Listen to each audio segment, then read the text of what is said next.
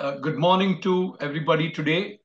We have uh, the important session, the monthly session of the IHRS uh, meet for the DNB DM uh, fellows in training and the young electrophysiologists to orient them into this field of cardiac electrophysiology, which has been uh, going on now for quite some time. And then the coordinator has been Dr. Ashish Nabar. And we thank the IHRS for uh, encouraging us to go ahead with this uh, important monthly meeting, orienting the youngsters to get into the field of uh, cardiac electrophysiology.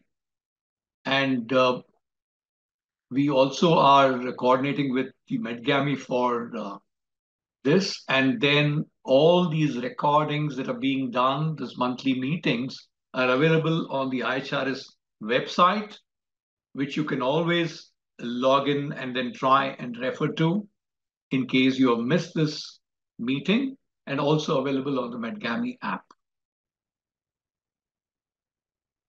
Thank you. And then let's start the session today.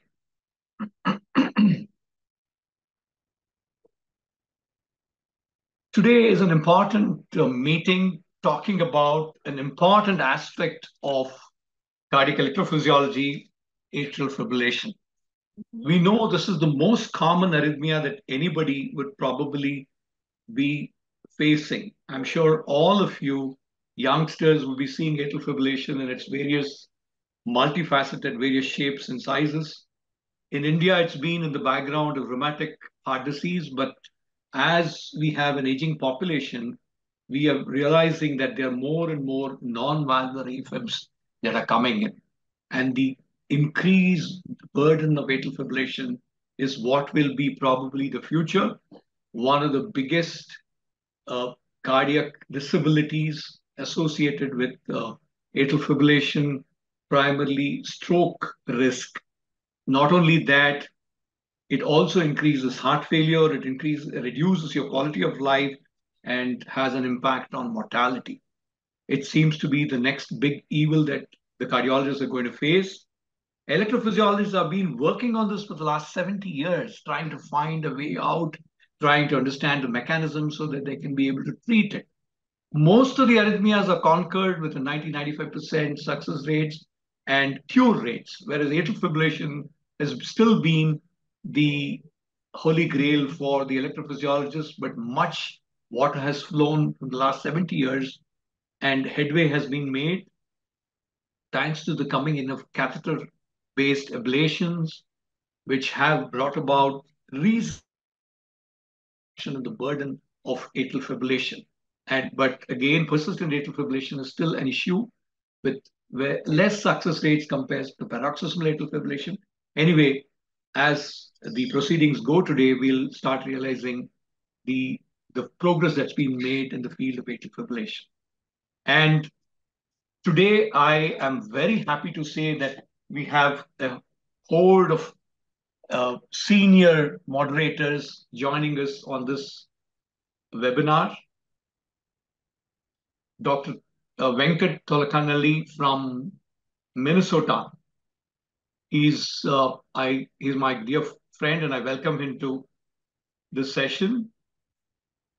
He is professor of medicine at the University of Minnesota and the chief cardiac electrophysiologist at the VA healthcare system. His expertise in complex ventricular tachyarrhythmias. He's been awarded the prestigious Yang Ming Life uh, Time Educator Award, and he's to his credit multiple research papers and publications. And I welcome Dr. Uh, Venkat for sparing his time, especially because he's from Minnesota. And you know, Minnesota now is running late, 10, 10 30. I really thank him for participating in this important meeting. The next important. Thank, thank, thank you very much. Thank you, Dr. Venkat. I also invite Dr. Rakesh Yadav, Senior Professor from the prestigious All India Institute of Science, who has, again, a multifaceted personality. Uh, and he not only apart from his credit to various publications, he is at present the editor of the Indian Heart Journal and also secretary for the IHRS Indian uh, Heart Rhythm Society. I welcome Dr. Rakesh. And another important person that I would like to have today as a moderator is Dr. Satish, who is professor and head of electrophysiology from Sri Jayadeva Institute of Cardiology. Again, a very close friend and a profound electrophysiologist with a lot of publications and plenty of experience in cardiac electrophysiology, including ablation of atrial fibrillation. I welcome Dr. Satish. Thank you, sir. Thank you for that kind introduction. Without much delay, we would probably start the proceedings and we would have the first speaker, Dr. Omar, to give us a brief insight into atrial fibrillation before we go on to the management strategies. Dr. Omar, please. Yes, sir.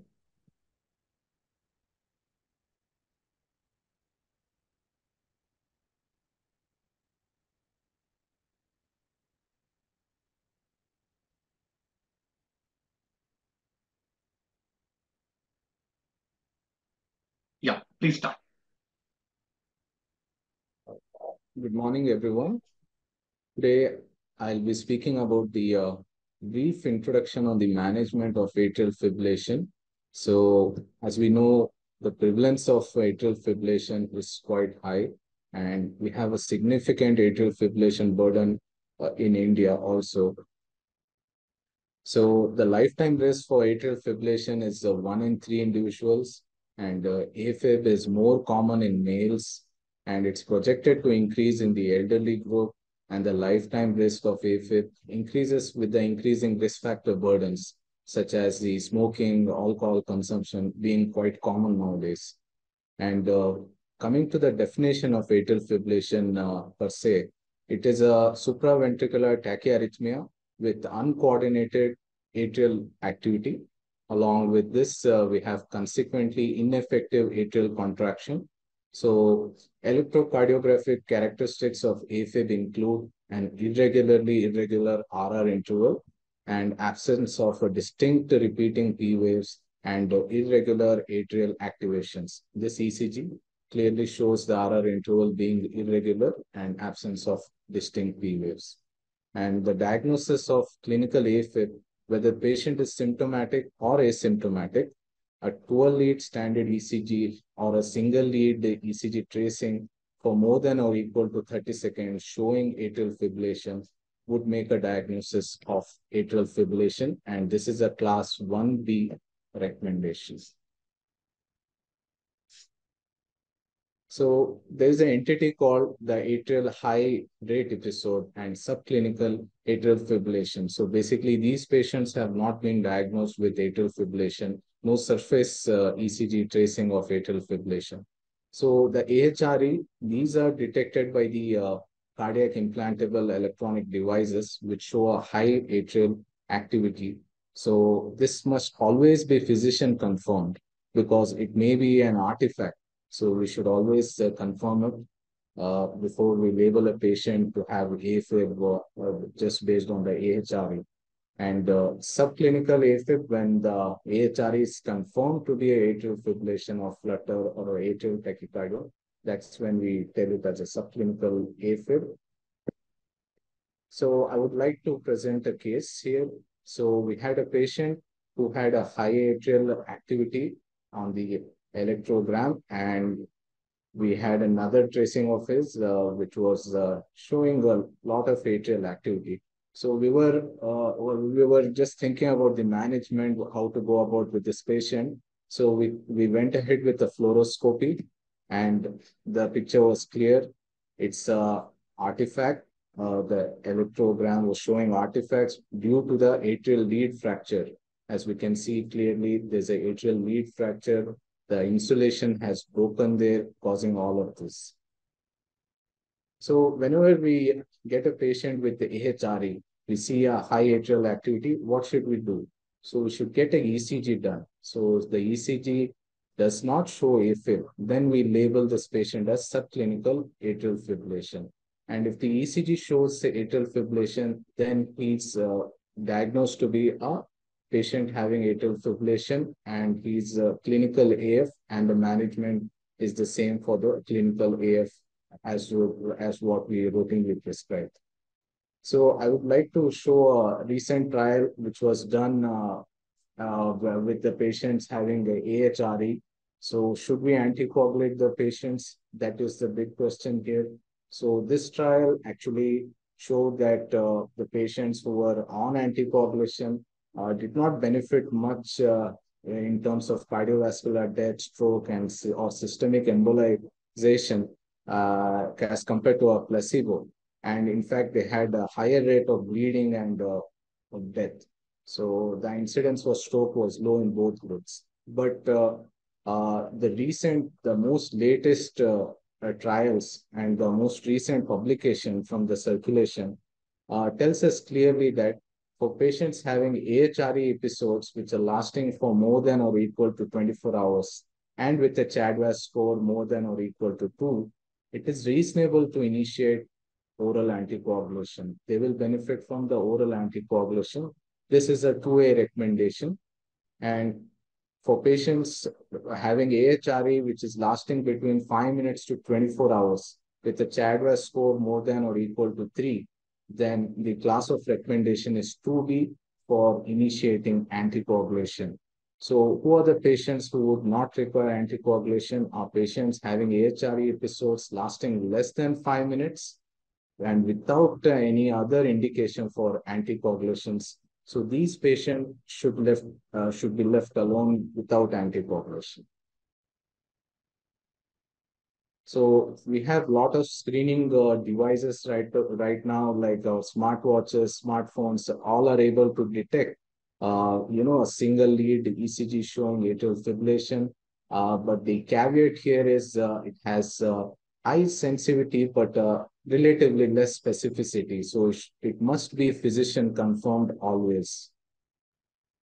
So coming to the AFib stages, so first stage is uh, when patients are at risk for atrial fibrillation, having risk factors, be, some are being modifiable like the obesity and others, and non-modifiable like genetics, male sex, and age. And stage two is uh, pre-AF, so pre-AF is that patient are having the evidence of structural or electrical findings further predisposing a patient to atrial fibrillation, like atrial enlargement and others. And uh, so who are the patients uh, who are having AFib are uh, stage 3. So in this, we have 3A, B, C, D. So A is when AFib is intermittent and terminates within 7 days of onset. And uh, 3B is persistent AFib. Uh, it is a continuous AFib which sustains for more than seven days and does require intervention. And a long-standing persistent AFib is a 3C. So these are patients having AFib continuously for more than 12 months of duration. And successful uh, AFib ablation, this is 3D. Patients uh, get freedom from atrial fibrillation after percutaneous or surgical intervention to eliminate atrial fibrillation. So who are the patients who are known as permanent AFib? So permanent AFib is a, actually a term when we uh, use when the patient and the physician both have decided that no further attempts will be made to try the rhythm control strategy. So diagnostic workup and follow-up. So for all patients with atrial fibrillation, a thorough medical history is required, a 12-lead ECG, thyroid function, kidney function test, electrolytes, and food, full blood count, and uh, a transthoracic echocardiography is must in all AFib patients. And in selected patients, uh, they may benefit from uh, ambulatory ECG monitoring, uh, TEE, and uh, high sensitivity cardiac troponins, and uh, coronary CTA, brain CT, MRI, and LG CMR of the left atrium and we should have a structured follow-up. So how do we approach patients with atrial fibrillation? So CC to ABC are easy mnemonic. Uh, C for confirm the AFib diagnosis. C for characterizing the AFib. We have a 4S AF scheme. So stroke risk, by CHA2DS2-VASc score. Symptom severity, we can use the EHRS symptom score and severity of AFib burden by seeing the duration and spontaneous termination and substrate severity, age, comorbidities, and others. Uh, so how do we treat AFib? ABC pathway. It is as simple as ABC. So A is for anticoagulation and avoid stroke. So we should use the CHA2DS2-VASc score uh, to, to know which patients require anticoagulation and who do not require anticoagulation. And we must use the HAS-BLED score to determine the bleeding risk and to modify any modifiable bleeding risk. So we should choose a oral anticoagulant and obviously NOACs, as we know, are better than vitamin K antagonists, except in two situations, that is prosthetic valves and uh, moderate to severe mitral stenosis. So B is for better symptom control. So we have to optimize the rate control and consider rhythm control strategy.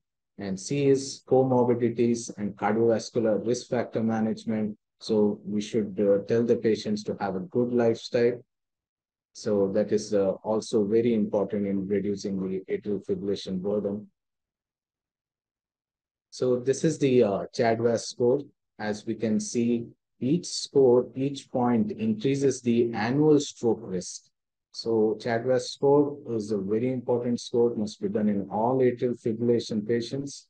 Not only it tells us the annual stroke risk, it also guides us uh, the therapy, which patients require anticoagulations and which patients would not benefit from anticoagulation. So how frequently should we uh, reassess the patient? Three to four months may be a reasonable time interval at which the stroke risk should be reassessed so that we can timely prescribe the oral anticoagulants. So HAS-BLED score as a systematic review and other evidence has clearly shown that it's the best prediction it gives the best prediction for the bleeding risk. But here I would like to make a statement that high bleeding risk score is not an excuse to withhold oral anticoagulation. Patient requires it, even with a high uh, HAS-BLED score, we have to initiate if the patient requires it. So finally, I would like to uh, conclude by telling that AFib management is a holistic management in which the primary care is involved, the primary GP is involved, the non-cardiologist, the cardiologist, as well as the patient is involved in the uh, management of uh, atrial fibrillation. And lastly, uh, ABC is so easy. Uh, so we just have to remember A for avoid stroke, and B for better symptom management, and C for comorbidities and cardiovascular risk factor optimization. This simple strategy, I'm pretty sure, is going to reduce the atrial fibrillation burden. Thank you very much. Thank you. Thank you, uh, Dr. Omar, for that wonderful introduction into the management of atrial fibrillation. I think uh, now we would have, uh, we, we, we need to really understand uh, paroxysmal versus persistent and uh, paroxysmal or persistent with heart failure and how we approach it. Primarily, it's all dependent on the patient choice. All indications, even the latest uh, ACC guidelines which have come in and the earlier ESC, all of them give importance to patient's choice. Patient is symptomatic, he goes for effective treatment in the form of catheter ablation which has a class 2A recommendation, or you use antiarrhythmic drugs. In case you have persistent atrial fibrillation, the catheter ablation is a class 2B indication. Antiarrhythmic drugs are again looked at primarily as the first line of treatment. But when you have heart failure and you know atrial fibrillation is causing arrhythmia-induced cardiomyopathy, probably that time it could have a class 1A indication to look at a, a, a ablation as the primary first line of treatment rather than wait for the drugs to work and obviously patients will start worsening. Failed drug therapy, definitely it has a class 1A uh, uh, uh, application in both the uh, recommendations, ESC guideline, and today the latest ACC guidelines. So I now request uh, Dr. Varsha to take us ahead with regard to catheter-based ablation for atrial fibrillation. Thank you, sir. Yeah. Please share your slides. Yes.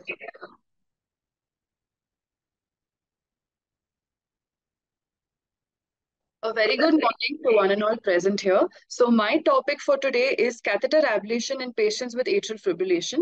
I'll be giving a brief overview of all the indications for catheter ablation in patients with AFib. I will be covering it in the following uh, headings. Rhythm control in patients with AFib firstly. Then types of ablation methods that are present today. Catheter ablation in patients with paroxysmal AFib as first line in patients with AFib, its role in persistent AFib. And finally, I would like to discuss our experience uh, when we treated a patient with atrial fibrillation. So coming to rhythm control in patients with atrial fibrillation, the two latest trials which have shown that rhythm control in patients with AFib is useful is the EAST AFNet and the Athena trial. The EAST AFNet trial considered recent onset AFib patients who were at higher risk of stroke, while the Athena trial considered both paroxysmal and persistent AFib patients. In the EAST AFNet trial, their rhythm control strategy was either antiarrhythmic drugs or ablation, while in the Athena trial, they looked at only dronedarone, that is antiarrhythmic drugs for uh, uh, uh, rhythm control. And in the East AFNet, they found that the primary endpoint, that was a composite of death from cardiovascular causes, stroke, or hospitalization because of worsening heart failure, occurred less often among patients who were treated either with antiarrhythmic drugs or ablation. And the same outcome was also found in the Athena trial, indicating that early rhythm control among patients with AFib does have a role in the treatment. This is the latest ACC/AHA guidelines, which was released on November 30th or recently, uh, which shows which are the patients uh, in whom you would prefer rhythm control. This is if the patient's choice is to prefer rhythm control, you can give them that option. Or if the age of the patient is younger, like less than the age of 65 years, or if the history of AFib is shorter, or if patients are more symptomatic for AFib, or if it is difficult to control the heart rate. Coming to the anatomy, if the LA is smaller, there is more LV dysfunction and these are the conditions in which we would prefer rhythm control over uh, rate control. This was a JACC review paper, which stated that as of yesterday and even today, clinicians worldwide, if patients present with paroxysmal AFib, if they are symptomatic, they first opt rate control before going on to rhythm control. But they say that the way forward is that rate control should be the last strategy. We have to start the treatment patient on treatment with rhythm as well as rate control. This rhythm control can be either in the form of antiarrhythmic drugs or ablation. But we know that antiarrhythmic drugs come with their own adverse effects. So what are the advantages of catheter ablation over antiarrhythmic drugs? Uh, this was a paper published in 2023, which said that if catheter ablation is performed by trained operators, it is a safe and superior alternative to antiarrhythmic drugs for the maintenance of sinus rhythm as well as symptom improvement. It has also been shown to prevent modification of the anatomy of the heart secondary to AFib. So as per the ESC guidelines published in 2020, what are the indications for catheter ablation? As first line, they say that it is only in patients with paroxysmal AF episodes or persistent AF, but even here they give it only a class uh, 2A and 2B indication. A class 1 indication is only given among patients who have tachycardia-induced uh, heart failure, that is patients who develop heart failure secondary to uh, AFib. Only here it is given a class 1 indication for first line management. Among patients who have failed therapy with antiarrhythmic drugs, uh, they say that uh, uh, uh, catheter ablation can be used to treat paroxysmal as well as persistent AFib, and only here it is given a class 1 indication. What do the latest ACC/AHA guidelines say? Catheter ablation again is given a class 1 indication among patients in whom antiarrhythmic drugs were ineffective, or they say that it can be chosen as first-line therapy in selected patients. Now, who are these selected patients? They are patients who are younger, who have few or no comorbidities. Now coming to uh, radio frequency ablation per se, uh, with uh, focus on pulmonary vein isolation. Why is it that the pulmonary veins came into focus in atrial fibrillation? This was because of a seminal paper that was published by uh, Dr. Michel Haïssaguerre, which stated that pulmonary veins are an important source of ectopic beats, which initiate frequent paroxysms of atrial fibrillation. And he also stated that these foci respond to treatment with radiofrequency ablation. So these are the foci that are present in the pulmonary veins, which send out electrical impulses, capture the left atrium and lead to atrial fibrillation. And this is pulmonary vein isolation, where we electrically isolate the pulmonary vein from the left atrium, preventing this triggering focus from entering into the left atrium and causing AFib. Uh, as per the ACC guidelines, again, they say that pulmonary vein isolation among patients undergoing uh, AFib ablation is given a class 1 indication. But for other anatomic ablation targets such as posterior wall sites, ablation of low voltage areas or ablation of CFAE areas, it gives a 2B indication saying that it is not really useful uh, in doing these methods among patients undergoing uh, ablation. So these were the different methods that were used for AFib ablation. Few are for paroxysmal, few are for persistent AF. Now only highlighting the what were the methods that were done for paroxysmal AFib? This was focal ablation of pulmonary vein triggers, segmental ostial pulmonary vein isolation, and circumferential antral pulmonary vein isolation. Now, what are each of these? Focal ablation of pulmonary vein triggers is where you just go and identify the areas where the pulmonary veins are firing and you go and ablate these areas. However, this is a technique that is now out of fashion. It is not used anymore. The other methods that are used are segmental ostial pulmonary vein isolation, where you can see that only a few areas around the pulmonary veins where we see a, a, uh, link between the pulmonary vein and the left atrium. Only these areas are ablated. The other method is circumferential pulmonary vein isolation, where circumferentially around each of the pulmonary veins, radiofrequency ablation is done. But a newer technique that has been found to be useful is wide antral pulmonary vein isolation, where we circumferentially isolate uh, two pulmonary veins on either side instead of uh, uh, isolating each pulmonary vein one by one.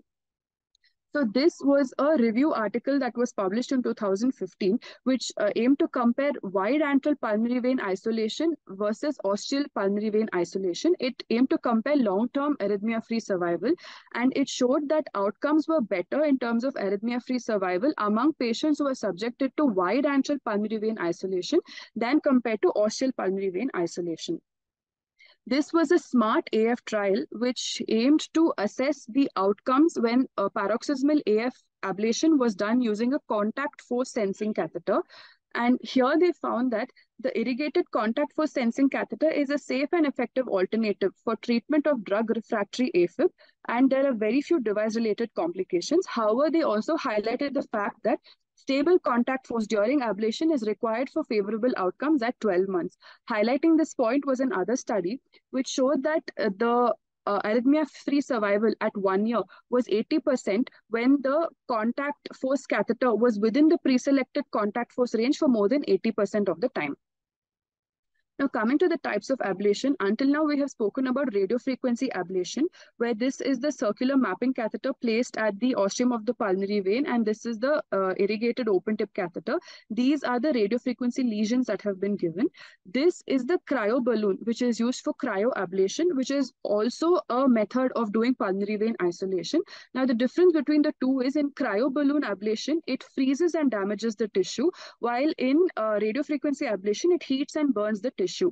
Now, what did the trial say about the outcomes in uh, pulmonary vein isolation with radiofrequency ablation versus cryoballoon ablation? The three main trials that were done were the freeze AF, the fire and ice, and the CIRCA-DOSE trial. All these showed that cryoablation was non-inferior to radiofrequency ablation in terms of outcome. The outcomes were freedom from AF complications and recurrence of uh, supraventricular arrhythmias uh, over a period of 12 to 18 months. Next, coming to catheter ablation as first-line management in AFib, we have seen in the guidelines that they give a class 1 indication only among patients who have tachycardia-induced heart failure or among patients who have failed antiarrhythmic drugs. But is there any use of doing catheter ablation before putting the patients onto antiarrhythmic drugs? Let us see what what uh, it says. Uh, the studies have been done with radiofrequency as well as cryoablation. This was a meta-analysis that was done which assessed catheter ablation as first-line treatment for paroxysmal AFib, and it found that catheter ablation was superior to antiarrhythmic drug therapy in patients with symptomatic paroxysmal AFib. 600 patients were divided into two uh, groups here. There were 600 patients in each group. And they found, like I said, catheter ablation is superior to antiarrhythmic drug therapy. This was another meta-analysis which again aimed to compare ablation versus antiarrhythmic drugs in terms of recurrence of atrial tachyarrhythmias at one year. Here, ablation was either cryoablation or radiofrequency ablation. And here again, you can see that the outcomes were better among patients who underwent ablation than among patients who were treated with antiarrhythmic drugs. The trials for radiofrequency ablation in first-line management of AFib were the RAFT-1, the MANTRA PAF, and the RAFT-2 trial, which initially showed that radiofrequency ablation was more effective in preventing arrhythmia recurrence. However, the studies also said that benefit was relatively limited and the results did not translate into clinically meaning, meaningful improvements in quality of life. Though the risk of recurrence was lesser, quality of life among these patients did not improve much. This was the three-year outcome of the early AF study, where cryoablation was done as first line in patients with AFib. And here they showed that there was significantly lower, lower recurrence of atrial arrhythmias, uh, lower progression to persistent AFib, lower hospitalization, greater improvement in quality of life, lower rate of adverse effects, as well as significantly lower AF burden. This was a critical appraisal of all the three cryoablation trials that were done among patients as first line for atrial, uh, atrial fibrillation ablation. Here you can see that there was reduced atrial tachyarrhythmia recurrence, there was greater improvement in quality of life, reduced healthcare utilization as well as reduced hospitalization, saying that cryoablation can be used as first line among patients with uh, paroxysmal atrial fibrillation. Now we have spoken about uh, catheter ablation in paroxysmal AFib and catheter ablation as first line in AFib. But what do the trials say about persistent AFib? This at present is an electrophysiologist Waterloo, as we all know. So while treating patients with persistent AFib, we generally require a combination of 3D mapping and radiofrequency ablation, but single procedural efficacy and long-term outcomes still remain suboptimal, especially uh, among those with persistent or long-standing AFib. Among paroxysmal AFib, the outcomes are close to 60 to 80%, while in persistent or long-standing, it is 50% or lesser. So these were all the ablations that were attempted along with pulmonary vein isolation. Pulmonary vein isolation is the standard even today. These were the other ablation methods that were tried. And here you can see that the level of evidence was weak for CFAE ablation, FIRM ablation, uh, all the other ablations. And there was slightly stronger level of evidence for posterior wall isolation and superior vena cava isolation. So this is where, just in brief, this was pulmonary vein isolation. This was isolation of the posterior wall. This was the CFAE ablation where we ablated the complex fragmented atrial uh, EGMs. And this was uh, pulmonary vein isolation along with isolation of the mitral annulus. This was scar-guided isolation. This was uh, pulmonary vein isolation with left atrial appendage isolation. And this was SVC isolation. Now, did any of these uh, show any benefit in the outcomes in patients with persistent AFib. As per the ACC/AHA guidelines, all these have been given a class 2B indication. There was also a trial called the STAR AF2 trial, which included nearly 600 patients with AFib, and they aimed to see if pulmonary vein isolation alone or with any of these other methods helped improve the outcomes among patients with persistent AFib. So one group was only pulmonary vein isolation alone. The other was isolation with CFAE ablation, while the other was pulmonary vein with uh, linear ablation across the left atrial roof and the mitral valve annulus. The follow-up was for 18 months, but this was a negative trial which showed that there was no reduction uh, among rates of recurrent atrial fibrillation among any of the groups, indicating that apart from pulmonary vein isolation, no other ablation strategies have been found to be useful. In fact, it also showed that there was increased risk of uh, focal arrhythmias uh, among these patients who underwent uh, higher or more um, areas of ablation. So uh, this is just a table showing this is how the cardiac muscle looks among patients with paroxysmal AFib. Here they only have triggering ectopic foci, usually along the pulmonary veins. The anatomy remains preserved.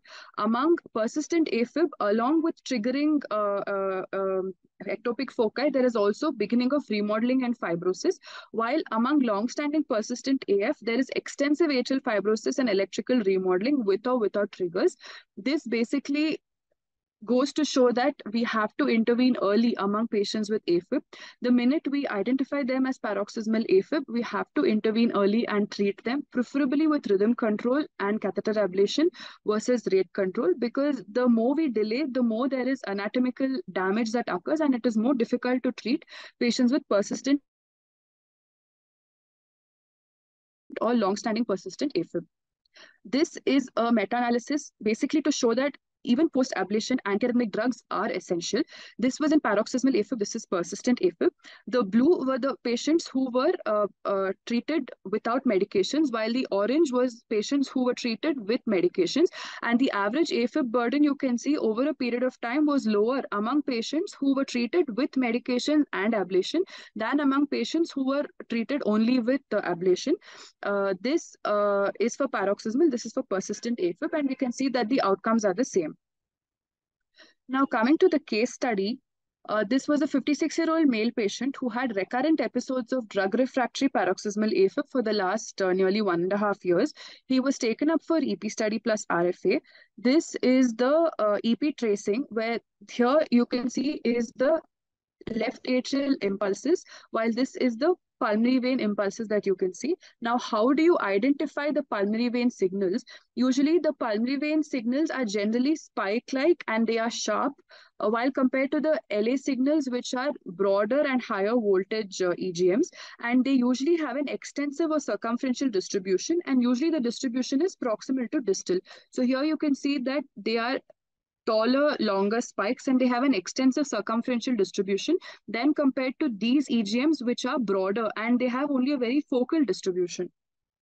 Now, why is it important to differentiate between the pulmonary vein potentials or the extra pulmonary vein potentials is to avoid unnecessary ablations and reduce the risk of complications while doing uh, ablation. So this is how you mainly differentiate pulmonary vein from extra pulmonary vein potentials. Focusing on this diagram, this is a patient in sinus rhythm.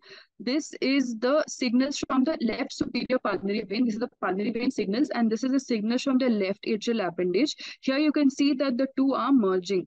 So you differentiate this by pacing from certain areas of the heart, such as the proximal CS, distal CS, or the left atrial appendage.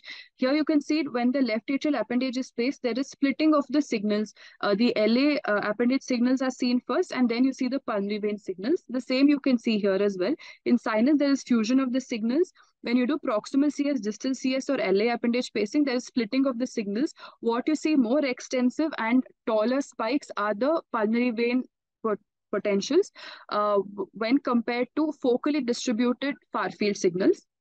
This is post-ablation where pacing from the proximal CS, you can see only the left atrial appendage signals, uh, but you cannot see the pulmonary vein signals, indicating that we have successfully uh, isolated electrically the pulmonary vein from the left atrium. This is similar. The This was from the left superior pulmonary vein. This is similar from the left inferior pulmonary vein, where the far field signals or the extra pulmonary signals will be the lower left atrium. Again, here you differentiate by distal CS spacing and proximal CS spacing.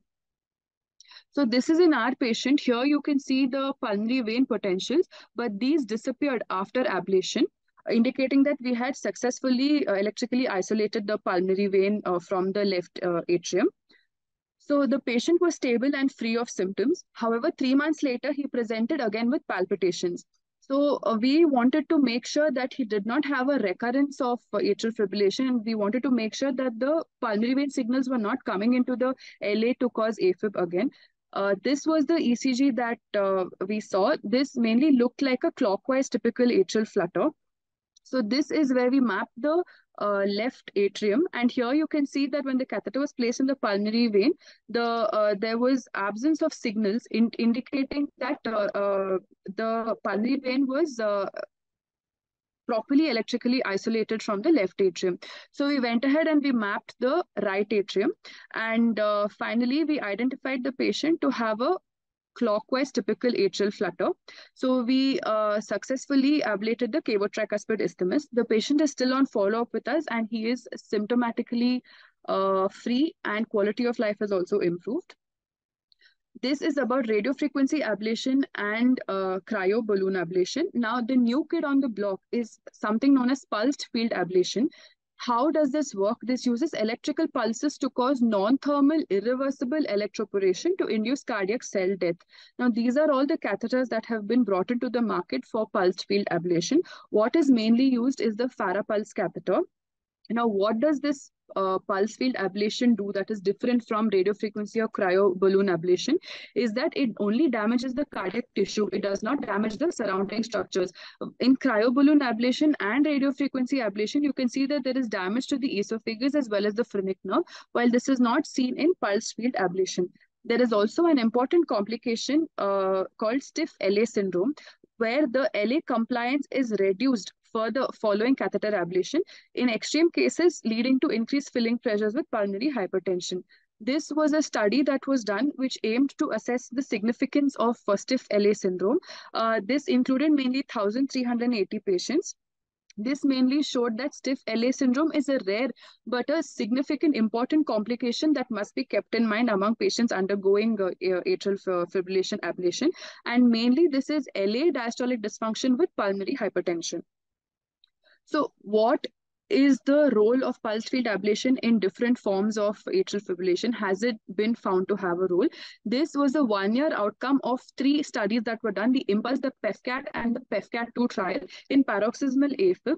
This study was published in 2021, and it showed that uh, pulse field ablation catheter, uh, uh, where we did pulmonary vein isolation, resulted in excellent pulmonary vein isolation durability and there was acceptable low uh, acceptable safety with a low one year rate of atrial arrhythmia recurrence this is among patients with persistent AFib, where they mainly aim to assess the safety and lesion durability. Here, patients uh, both underwent pulmonary vein isolation and uh, LA posterior wall ablation in persistent AFib. When they remapped after three months to assess the durability of the lesion, they found that uh, the lesion was durable and it was uh, isolated in 96% of patients who underwent uh, pulmonary vein isolation and 100% of patients who underwent uh, LA posterior wall ablation showing that pulse field ablation may also have a role in patients with persistent AFib.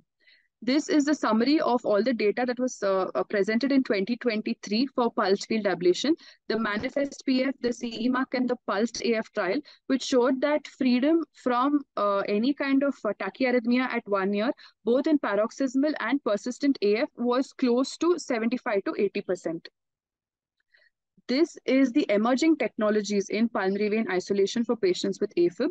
Uh, we are mainly trying to discover newer energy sources, trying to bring in newer hardware such as multi-electrode ablation catheters or newer hardware in radiofrequency ablation itself or better methods to visualize the lesion to uh, overcome our drawbacks that are present in the present way of treating patients with atrial fibrillation.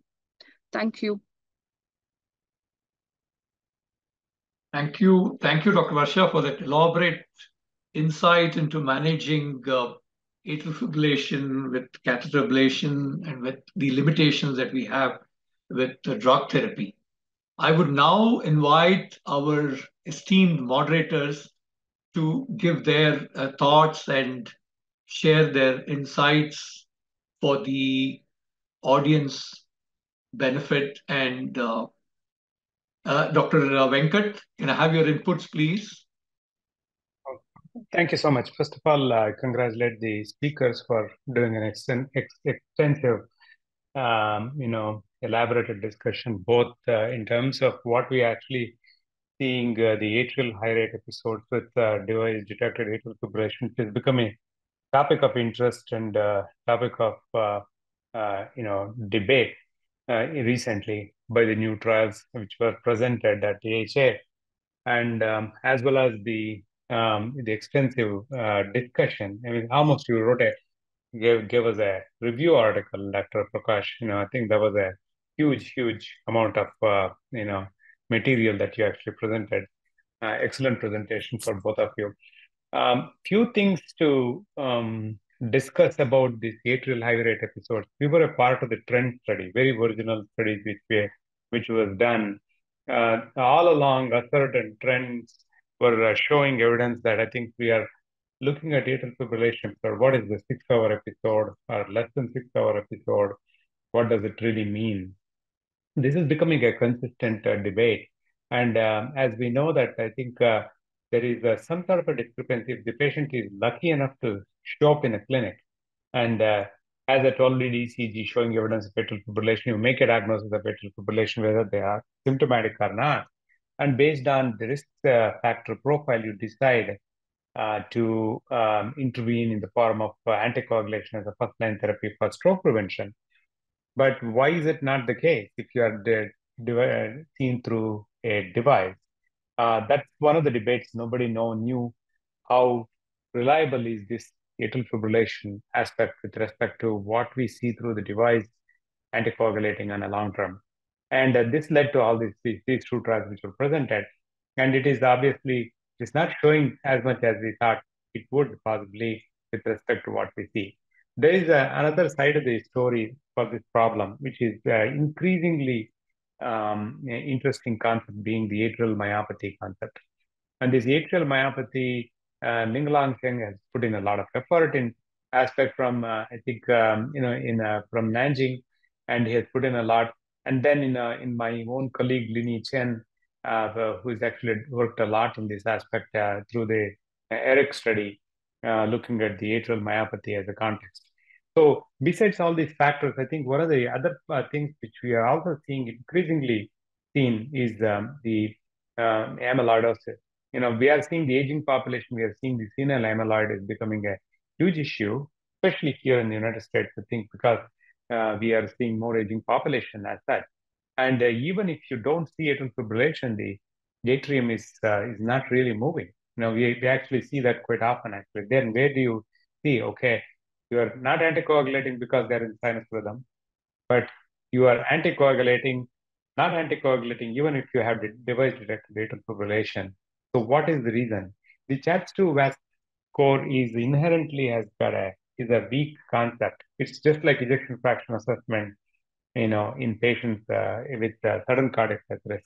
It's very, it's a, it's actually moving target. Over a period of time, I think, as we understand more and more of the atrial myopathies, I think things may change as far as how we are going to uh, approach.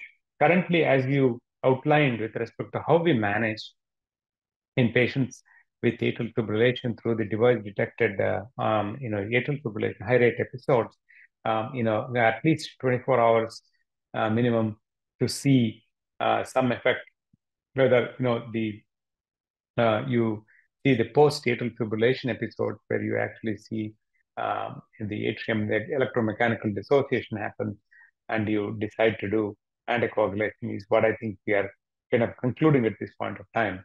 These are all the obviously there is a not a class one indication, it becomes much more in the class two range, whether it A or B.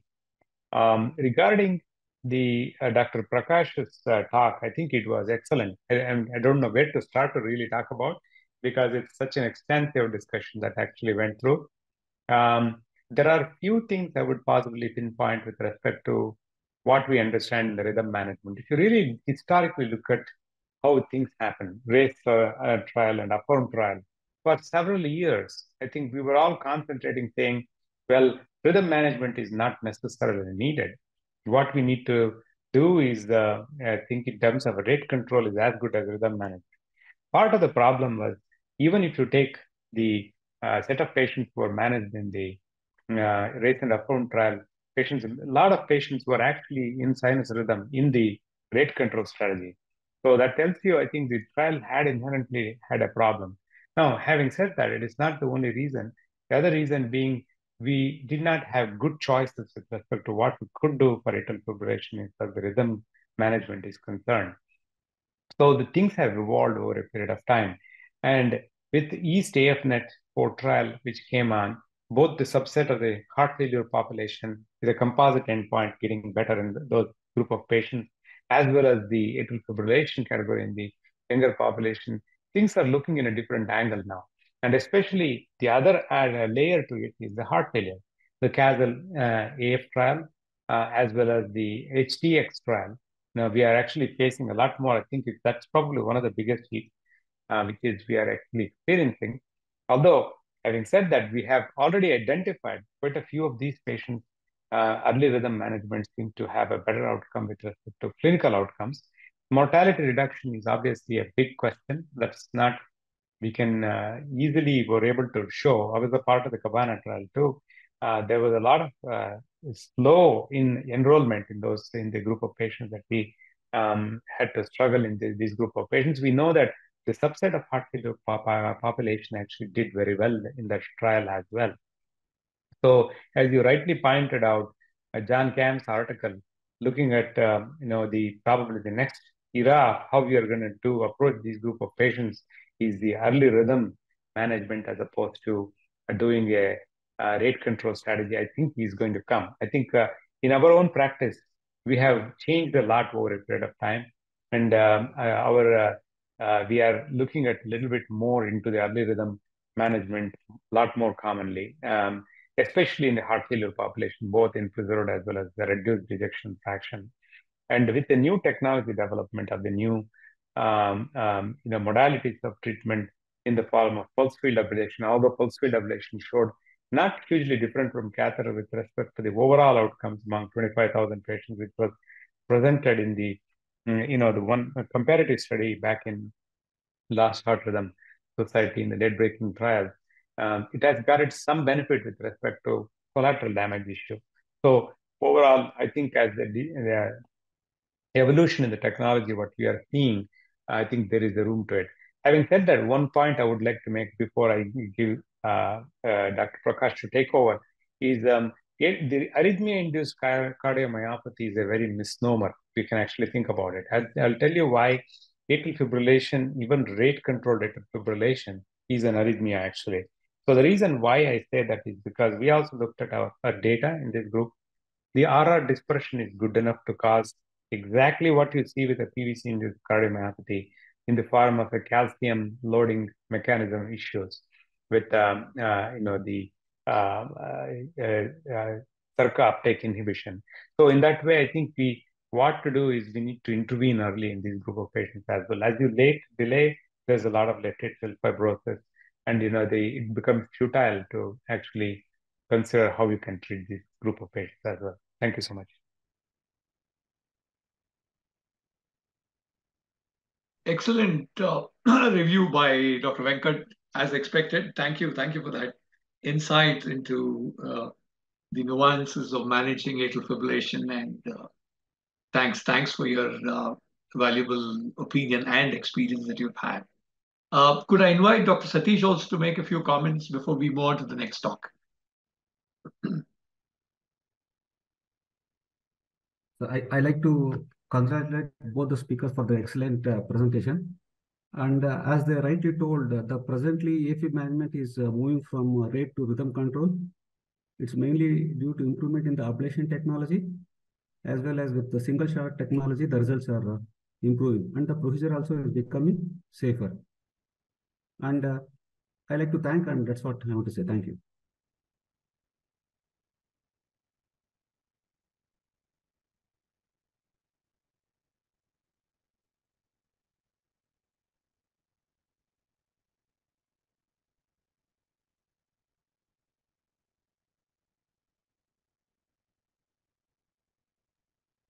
So you're on mute. Yeah, I'm sorry. I'm sorry.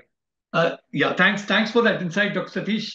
Uh, wonderful. Let's move on to the next talk. As Dr. Venkat was talking, the RR intervals and the calcium loading is what really makes uh, atrial fibrillation an important cause for uh, uh, cardiomyopathy. And that, let's look at what we have in store for patients with AFib and heart failure. Dr. Uh, Suhas, please. Thank you, sir. Uh, let me start with my topic. Uh, topic for today being heart uh, atrial fibrillation in heart failure. Uh, good morning, everyone. I'm Dr. Suhas, presenting my topic atrial fibrillation and heart failure. Uh, let me start with a case history, uh, which is 58-year-old male uh, who presented with complaints of breathlessness for 15 days, which was progressive in nature, function uh, progressing from NYHA class 2 to NYHA class 4, associated with bilateral lower limb swelling for 15 days. He had no history of chest pain or palpitations. Uh, we got an ECG done, which shows atrial fibrillation with fast ventricular rate, and an echo was done. Here we can see that there is atrial fibrillation with fast ventricular rate as well as reduced LV function. Uh, now we know that there uh, in this patient we have atrial fibrillation as well as fa with fast ventricular rate and heart failure. Now we are both AFib can lead to heart failure and heart failure can cause AFib. Now how does heart failure lead to AFib? That is, uh, in heart failure, there can be increased filling pressures leading to myocardial fibrosis, uh, chamber, uh, chamber remodeling, neurohormonal activation, disruption in calcium metabolism, and also late dilatation. All these can cause electrical remodeling and atrial fibrillation. Uh, the reverse of it, that is atrial fibrillation, reverse of it, that is atrial fibrillation leading to uh, atrial uh, AF-mediated cardiomyopathy. Here, atrial fibrillation causes alteration in AF triggers and substrate that leads to atrial remodeling, tachycardia and irregular rhythm along with cellular and extracellular and neurohormonal mechanisms leads to ventricular remodeling, which may be reversible or irreversible that in turn leads to atrial fibrillation mediated cardiomyopathy. Now, we know that uh, patient uh, here uh, there is both atrial fibrillation and heart failure, but we how to know which came first, that is whether the atrial fibrillation is leading to heart failure or heart failure is a uh, causes atrial fibrillation. There are some points that can help, but not ideally differentiate easily. So one, a patient who is known case of atrial fibrillation with no prior history of IHD or DCM, and on MRI, if there is late, uh, late gadolinium enhancement suggestive of atrial involvement with a normal ventricular myocardium, these go in favor of AF-mediated cardiomyopathy Whereas patients in known case of heart failure or history like IHD, status post PTCA or uh, DCM or restricted cardiomyopathy, all these can have uh, late gadolinium enhancement suggestive of ventricular scarring or suggestive of any infiltrative diseases which are more favorable of heart failure resulting in atrial fibrillation. Uh, now, coming to the point, management of atrial fibrillation. Uh, why should we manage atrial fibrillation or why should we manage atrial fibrillation? This was a meta-analysis that was published in European Heart Journal in 2009 consisting of seven randomized and nine observational studies with heart failure. And they identified that AF associated with heart failure had increased mortality compared to AF, uh, A, which heart failure where AF was not associated with. Thus, we know that atrial fibrillation should be managed. Now, what are the options for management of atrial fibrillation? It's either rhythm or rate control. Now, which should we do? Rhythm or rate control, which always stays as a bias. Here are some trials that says here is one trial that is uh, conducted by CHF STAT therapy, where they tried spontaneous conversion and maintenance of sinus rhythm by amiodarone in patients with heart failure and atrial fibrillation. The patients who were converted and maintained on amiodarone with uh, maintained on sinus rhythm with amiodarone had a lower mortality as compared to patients who were left with atrial fibrillation. Whereas there is one more trial uh, which was done by atrial fibrillation and congestive heart failure investigators, here, there was a comparison between uh, rate control, that is beta blocker with without digoxin, versus rhythm control, amiodarone, uh, which in both paroxysmal and persistent AF, in cases of heart failure with reduced ejection fraction. Here, it was identified that cardiovascular survival uh, and secondary outcomes like all-cause death, stroke, were all similar in both the groups. Again, causing it more a dilemma. However, we all know there is something affirmed trial where it was already, uh, which was a huge trial which convert uh, differentiated rate versus rhythm control in all patients. In this, which was considered as that rate and rhythm control remain the same. But this was a sub-study from the FM's trial which said that NYHA functional class was significantly worse if AF was present at follow-up than patients who were converted to sinus rhythm. And in case of functional class, six-minute walk uh, test distance improved over the course of time in patients who were treated with either strategy, but had modestly longer six-minute walk test in rhythm control patients compared to rate control patients. Although a rhythm control approach used to treat AF does not improve survival, some incremental improvement in functional status were achievable. So now coming to what are the options for rhythm control. The first option remains the medical management, uh, which is a which is usually followed in most of the centers. Atrial fibrillation, here there are, uh, my topic concentrates on heart failure. So with heart failure with preserved ejection fraction or normal LV function, the options remain IV amiodarone or ibutilide as class 2A recommendation and uh, class 2B for procainamide. Whereas in ejection fraction less than 40%, the only drug option remains is IV amiodarone. Now, uh, regarding maintenance of sinus rhythm in uh, heart failure patients, in case of preserved ejection fraction or normal LV function, dofetilide, uh, dronedarone, flecainide, propafenone all remain 2A, followed by amiodarone. Whereas in patients with less than 40% uh, EF or any structural heart disease, amiodarone and dofetilide remains 2A, whereas sotalol comes to 2B. Flecainide and propafenone are contraindicated. And in case patients who are having NYHA class 3 or 4 or recent decompensated heart failure, they there even dronedarone is contraindicated. Otherwise, dronedarone remains class 2A recommendation. Now, our patient were treated with amiodarone infusion and other guideline-directed medical therapy with a follow-up echo that showed that rate was controlled, but ejection fraction, there was no improvement neither in the or nor in the in functional class or quality of life. So what other option remains is catheter ablation. Uh, the almost brief introduction was of catheter ablation was given by uh, Varsha This is what we did with our patient, where uh, we did a CT guided CARTO mapping of the atrial fibrillation, and CARTO mapping of the atrial fibrillation and we ablated using the radio, uh, radio frequency ablation method. Here, these are the uh, red spots and here and here that says the areas of burn points or ablation. And this is the video that recording uh, in a 3D setting where uh, the whole ablation procedure is recorded.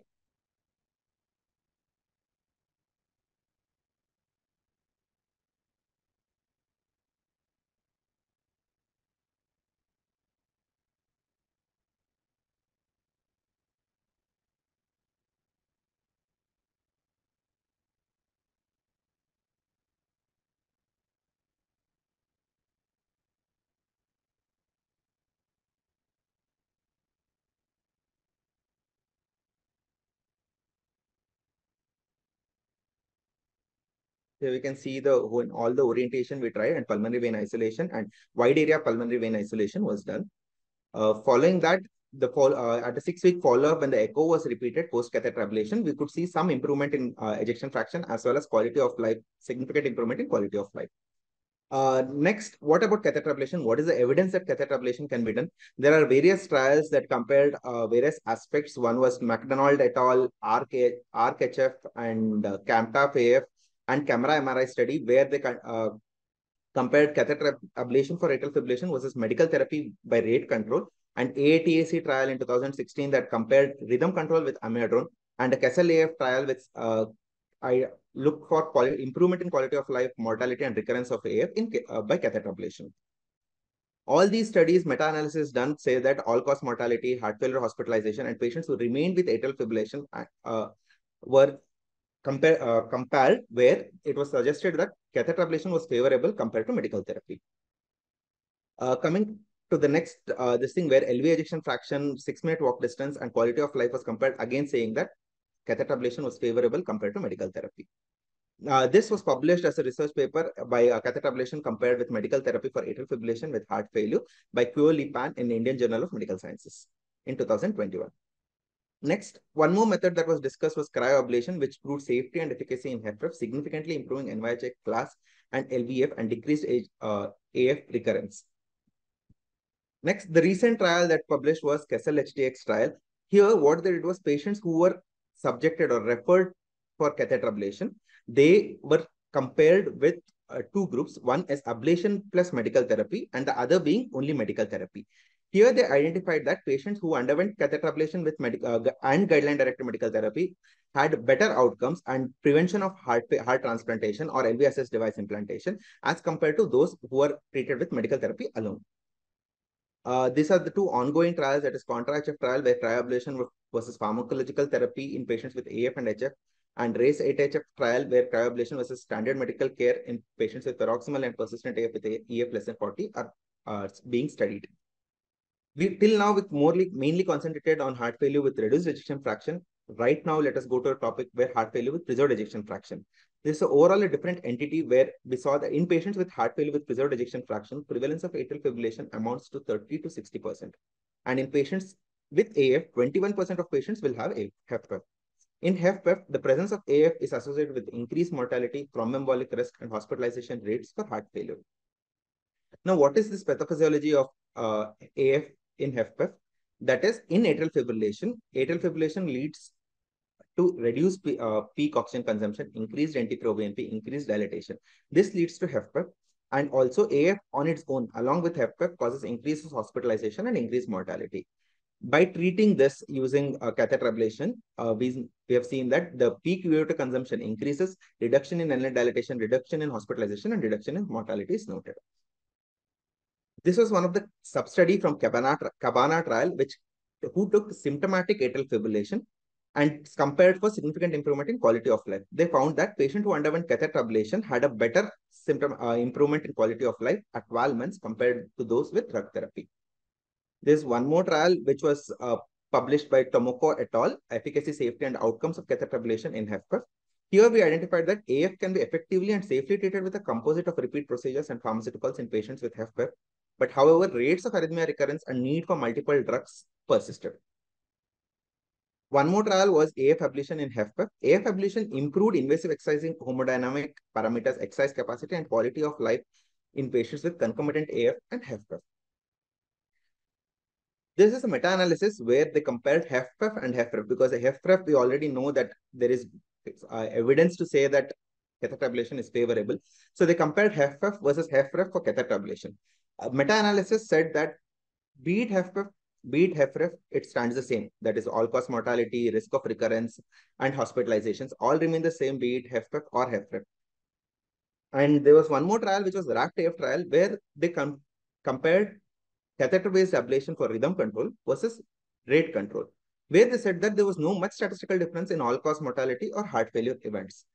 Uh, thinking it why there is one more trial that brought in the answer for this, that the lifestyle modifications for treatment of atrial fibrillation.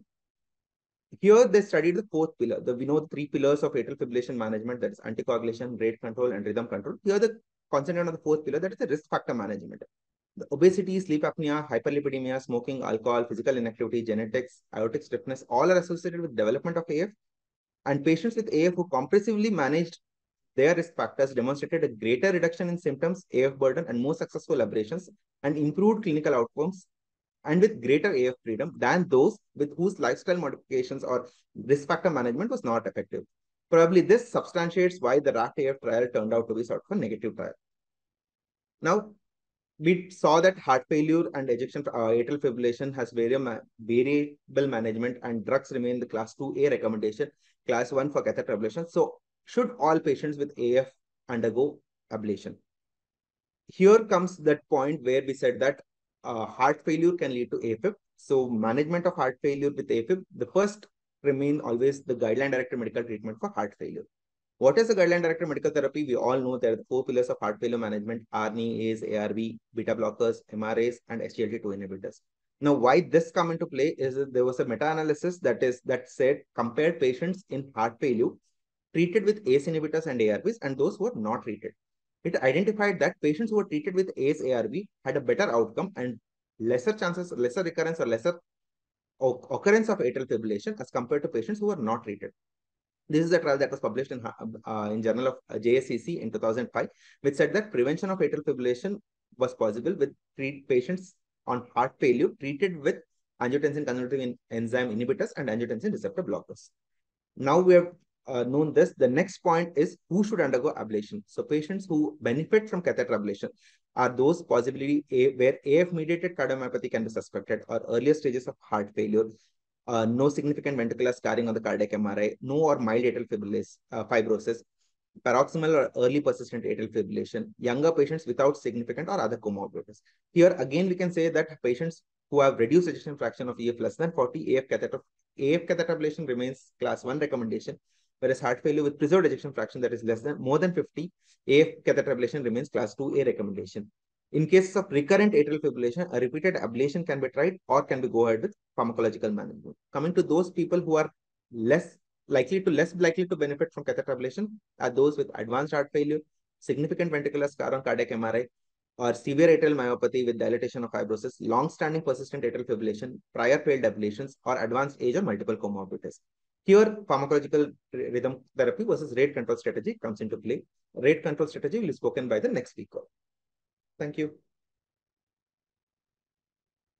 Thank you, uh, uh, Dr. Suhas, for that uh, wonderful insight into managing atrial fibrillation and heart failure. Before we move on to the next talk, there are some burning questions. I would probably uh, request our moderators to address them. Dr. Shreyas asks, what should be the drug of choice for a patient presenting first time with atrial fibrillation and fast ventricular rate and shock, and we do not know the state of clot? Should we go ahead with DC cardioversion or amiodarone? Dr. Venkat? So the, the very good question. So the patients presenting with the cardiogenic shock, so if the patient's presenting with cardiogenic shock, I think if you are suspecting, uh, um, you know, sometimes this is a very tricky thing. I'll tell you why the tricky thing. If the ejection fraction is very low, sometimes the rate, if you suddenly change the rate, they actually, in fact, the heart failure may even get worse. That's another thing which is a possibility. Um, so uh, cardioverting, you have to be extremely careful when you cardiovert the patient, which may not cardiovert, you know, because the filling pressures are so high. um, without having a background of uh, some form of an antiarrhythmic drug therapy.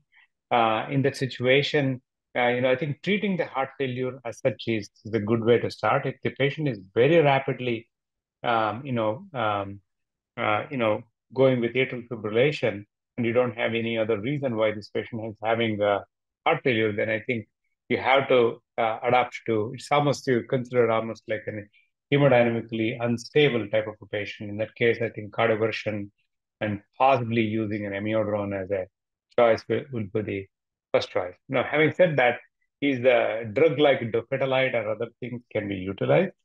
Um, in, in um, I think you know that the Diamond HF trial was the only drug, was the trial that was used in uh, where uh, the ejection fraction, lower ejection fraction patients were uh, tested. These are the only two drugs, dofetilide and the um, amiodarone are the only two drugs which you could use because sotalol has got a high mortality risk in patients with lower than 25% ejection fraction. That was used more on the chronic heart failure type of patients. In acute cardiogenic shock issues, I think uh, the strategy has to be carefully adapted with respect to whether the rate control, sudden change in the rate, could, could it make patients worse? That's you need to keep that in mind. But if uh, purely, I think they present because of the uh, tachycardia associated heart failure or cardiogenic shock, in that case, I think first thing to do is to make sure that we get them out of the atrial fibrillation if feasible.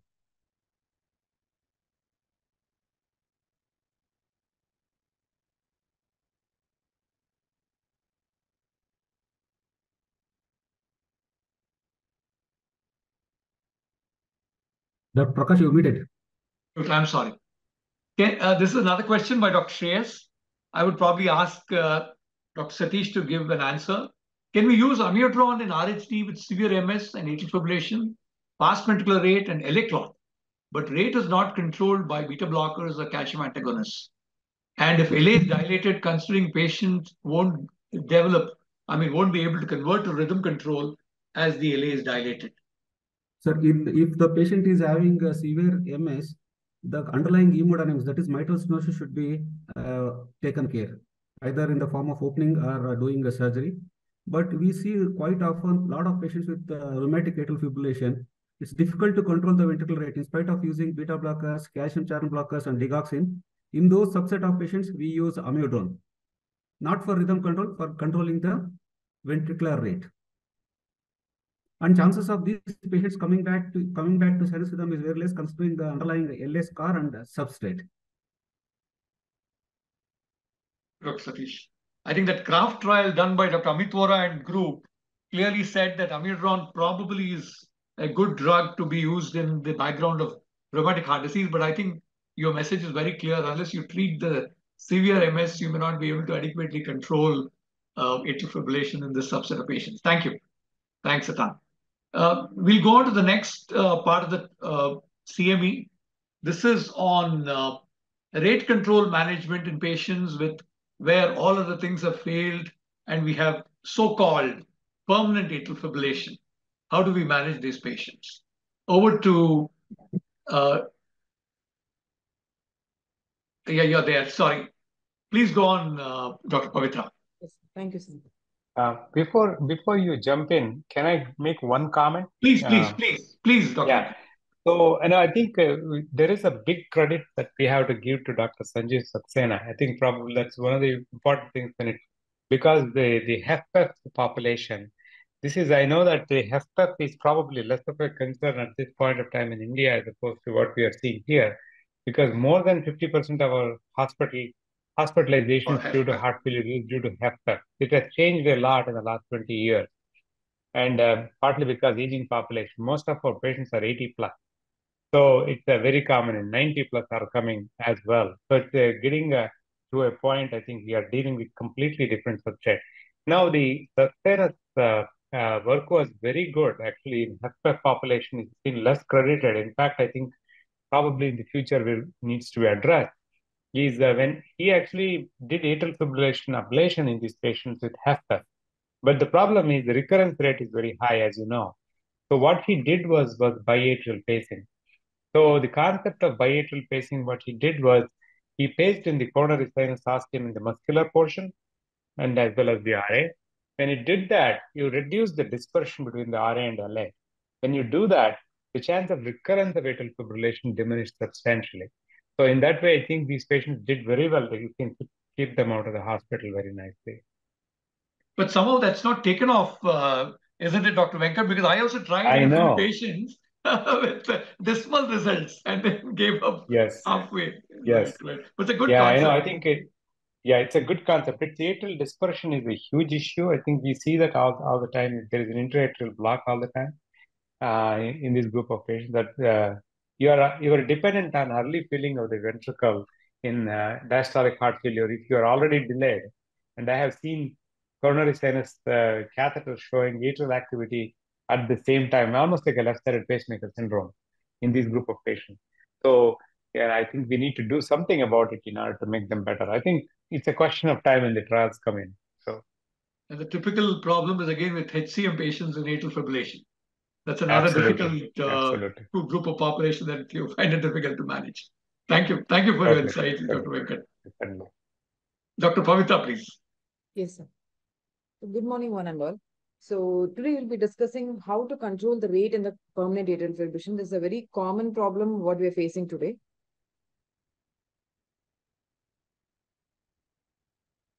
So first we'll look at what is exactly the permanent atrial fibrillation. The new guidelines which has been published in recently November 30th, 2023, according to that, the term permanent atrial fibrillation is used when the patient and the clinician makes a joint decision in order to maintain the sinus rhythm. So acceptance of atrial fibrillation, it represents a therapeutic decision and it doesn't represent an inherent pathophysiological attribute of the atrial fibrillation. So it's a mutual decision which has been taken to restore the sinus rhythm. So how to control the rate, acute and the chronic. So first we'll be discussing the acute rate control. So this is a guidelines which is taken from ACC 2023. And uh, here, if the patient is hemodynamic, AF, atrial fibrillation is a rapid ventricular response and the patient is hemodynamically stable.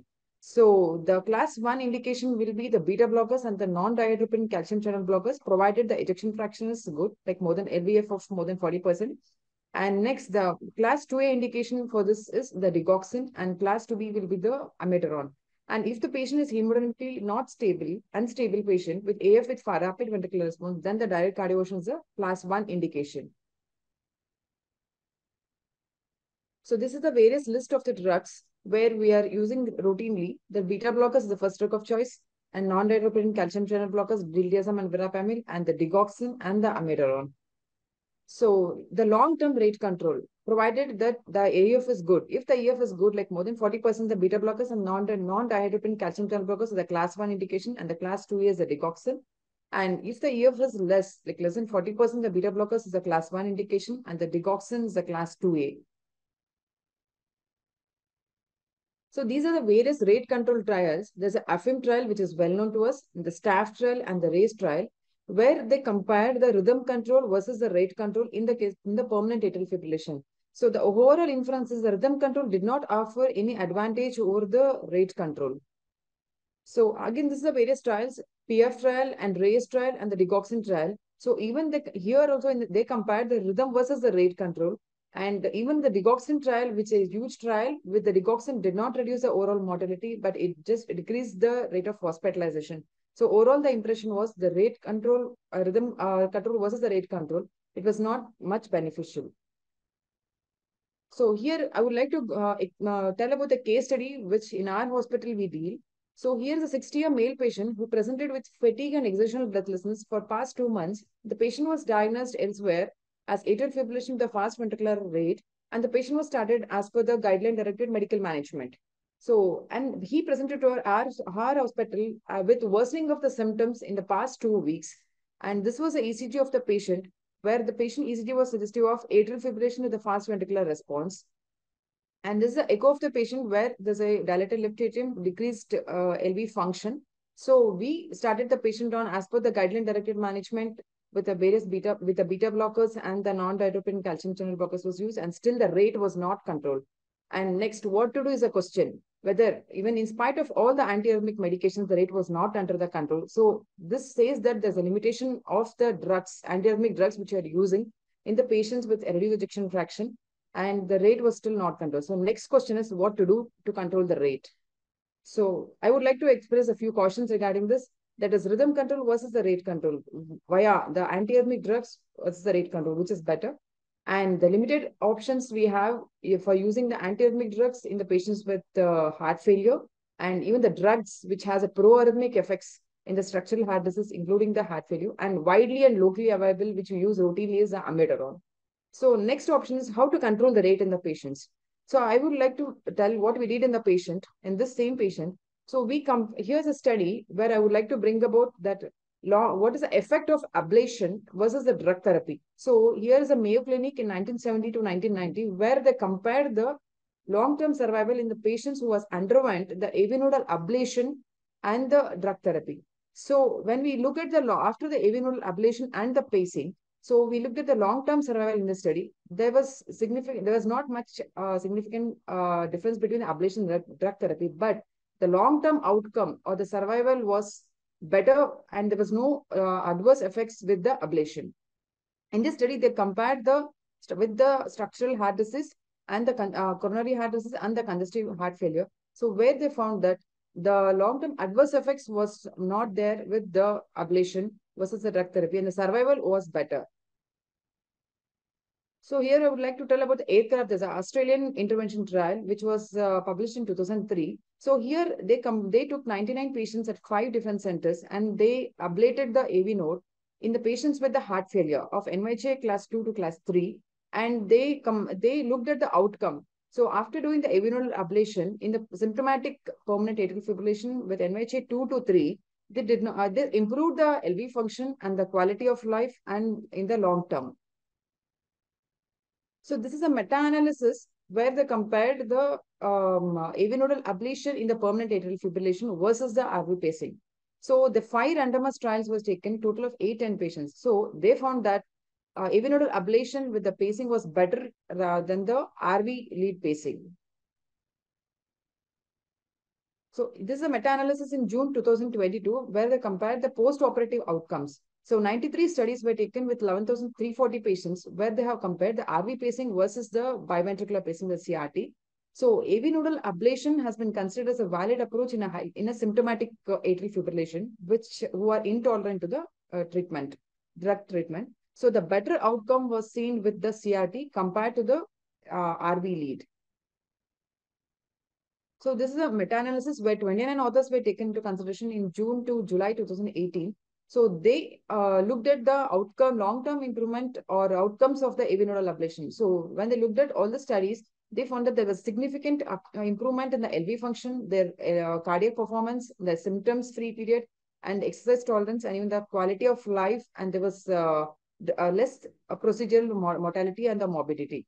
So the AV nodal ablation and the permanent pacemaker found to be better so this is a this is a study which to show that what is the adverse effects of ventricular pacing in heart failure. This tells about the ill effects of the RV pacing. So when the percentage ventricular percentage of less, less than 40% is a dotted line and uh, the ventricular percentage, sorry, ventricular percentage of less than 40% is a straight line, which is there. And the dotted line is the uh, ventricular percentage of more than 40%. So the, the there was a ventricular percentage of less than 40%. The long-term uh, event-free survival period was better. So now comes the APAF CRT modulated trial, where the it was published in ESC 2021, where they randomized around 133 patients for the ablation and the CRT, and the uh, some uh, rest patients for the drugs. So in this study, where the outcome was like ablation, AV nodal ablation, and CRT was superior to the pharmacological therapy in improving the um, outcome of the patients with a narrow QRS irrespective of the baseline, whether it was reduced ejection fraction or with the normal ejection fraction. So this was found to be better with APAF CRT mortality trial. So based on all this, in our patient, what we did. So here is a His bundle lead which we have placed at the His bundle.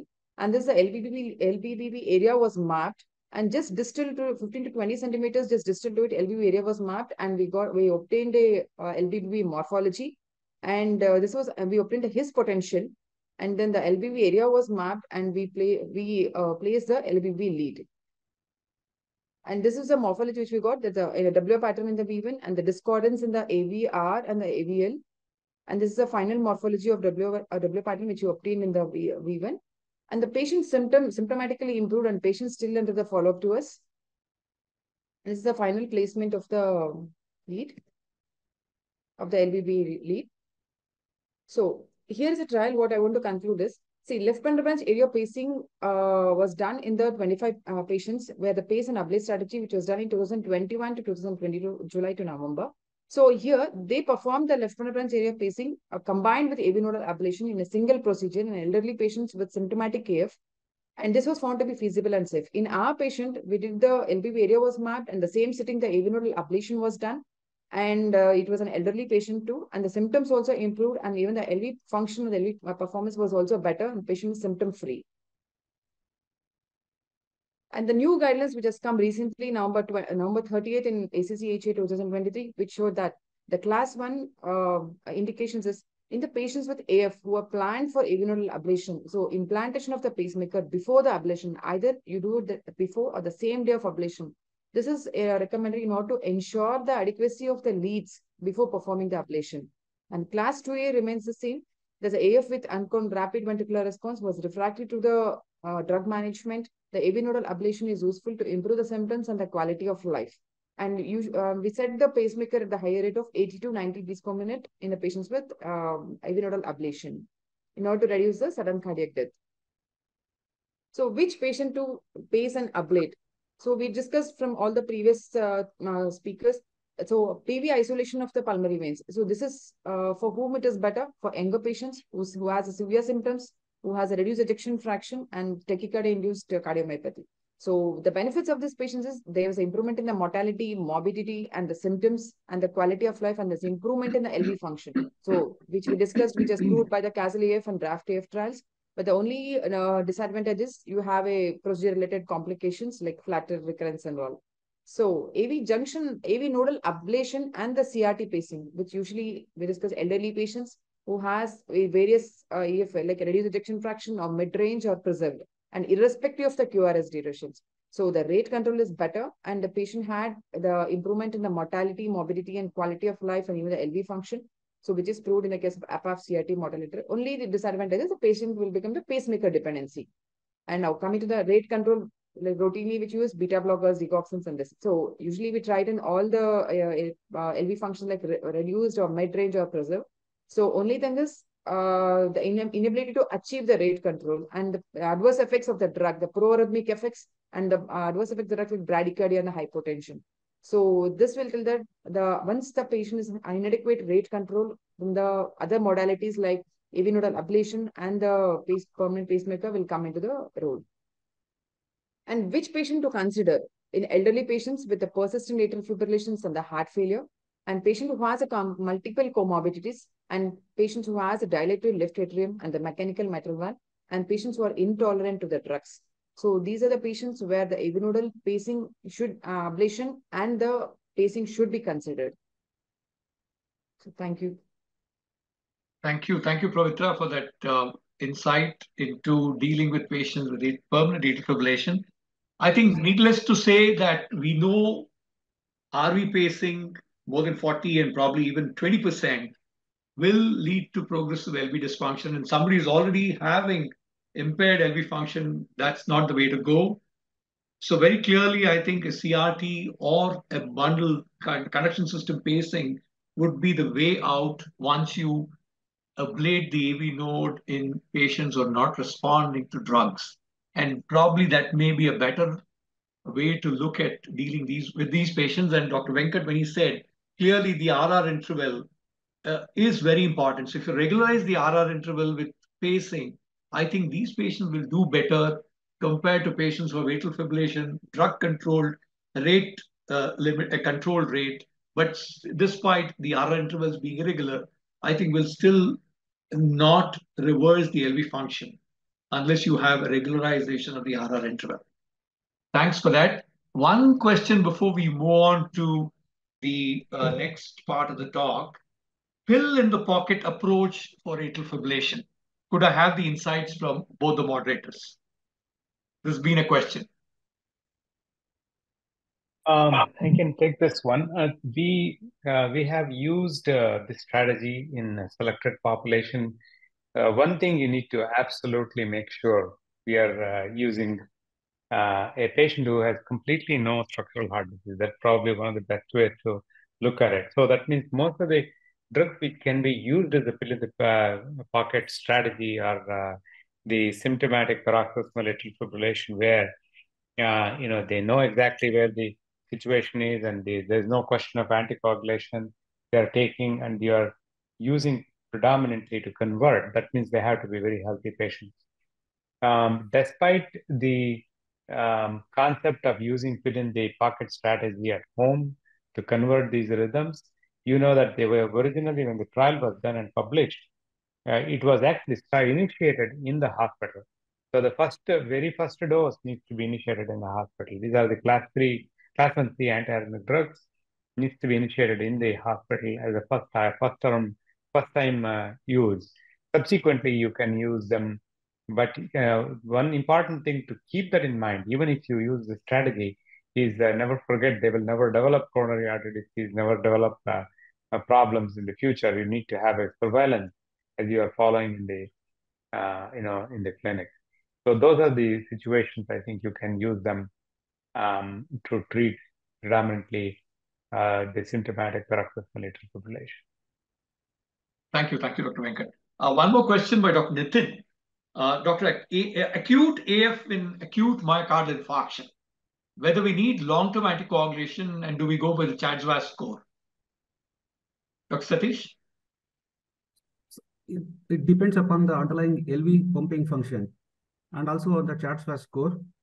So it requires, we start off with anticoagulation and re-evaluation after a, a, few months and look how his EF has improved and look at CHA2DS2-VASc score. If CHA2DS2-VASc score is low and EF has improved, I think we can go slow on anticoagulation. Wonderful. Thank you. Another interesting question by Dr. Shreyas. How long should we continue anticoagulation in patients with atrial fibrillation after rhythm control and why? it, it once again depends upon the CHA2DS2-VASc score. Whether it's antiarrhythmics or ablation, these are not uh, foolproof procedures. Still, they can have a recurrence of uh, atrial fibrillation. If CHA2DS2-VASc score is high, it's better to continue with uh, oral anticoagulation. Thank you. Thank you, Dr. Satish, for that. Uh, one more question before we move on to the next session. Uh, Dipankar uh, Mukhopadhyay has a quote to make. Ivabradine, though its action on the AV node it does act on the AV node partially, may have an additional rate control. Your comments, Dr. Venkat? Um, very good question. I think uh, recently this has been thought to be purely the IF currents in the sinus node, and now they're looking into terms of uh, other trigger. Uh, there is, I think the literature is very, very small with respect to what it could potentially use for a, a rate control strategy. Uh, if there are some triggers, multiple triggers which are responsible, I think you may, may indirectly control. Not entirely sure the AV node is the primary target by the ivabradine. It's uh, probably the multiple uh, triggers in the atria itself. So that's what I think it is. Uh, we don't have too much literature at this point of time. Having said that, I want to make one more comment. In uh, persistent atrial fibrillation, permanent atrial fibrillation, we, as we discussed in the previous talk, excellent talk, it's very difficult to talk about a rate control strategy in the current context because uh, everybody is moving towards the rhythm control and uh, who are these patients left out in uh, rate control are the ones which are very difficult.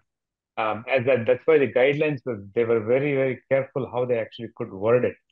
Um, the we I have seen this uh, time and again, and uh, just to give you one very beautiful example is a patient that I did a performed atrial fibrillation ablation back in 2010, I believe. And uh, subsequently, he did well. He had a tachy-induced cardiomyopathy at that time, recovered, EF recovered. Year later, atrial fibrillation recovered, recurred, and he went for a second ablation. Then ablation was done. He did well for another year. Then once again it recurred. Then I decided I think it's the best idea to do a rate control strategy, but his EF never really dropped.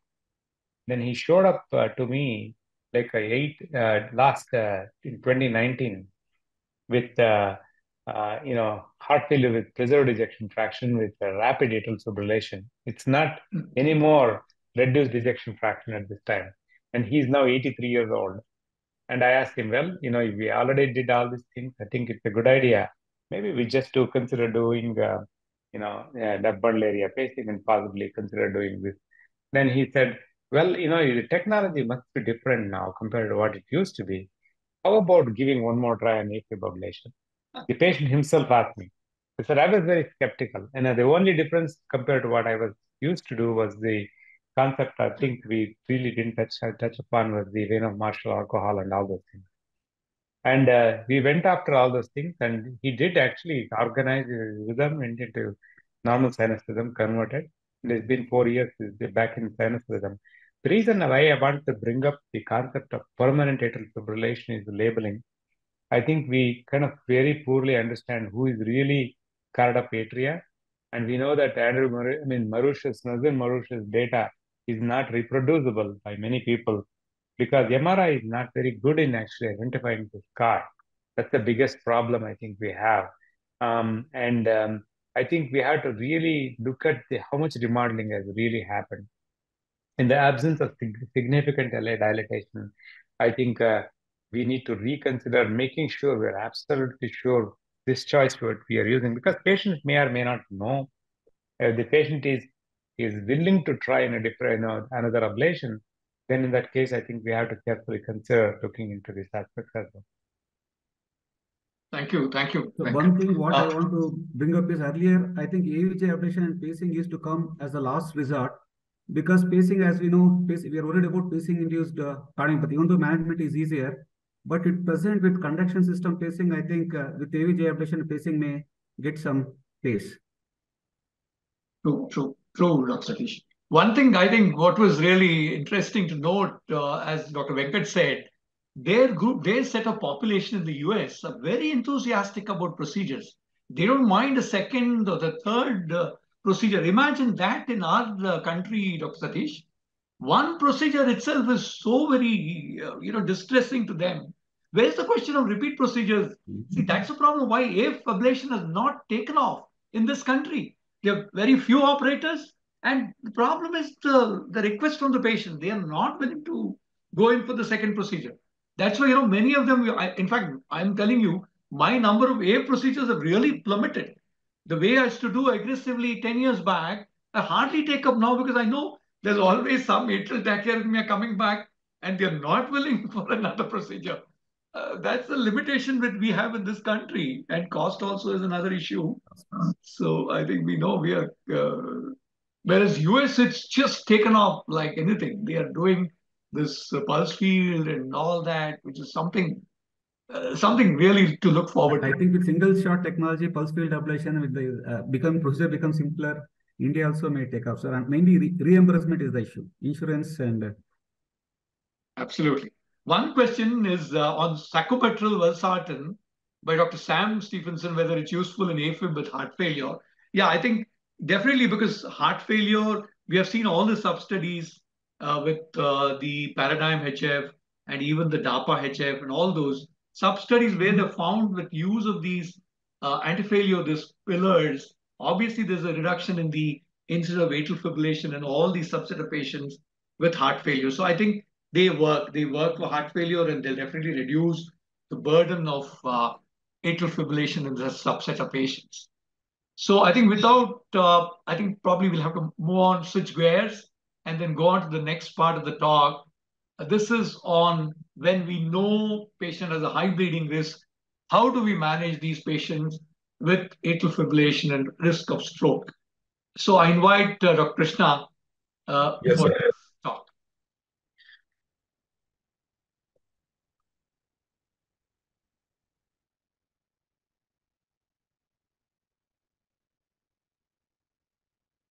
So good morning all, uh, Krishna here. I'll be discussing about the role of left atrial appendage closure in patients with AF with a high bleeding risk. So coming to why left atrial appendage, uh, because 92% of the left atrial thrombi are localized in the left atrial appendage. 60% of atrial thrombi in valvular AF and more than 90% of atrial thrombi in non-valvular AF patients are located in the left atrial appendage.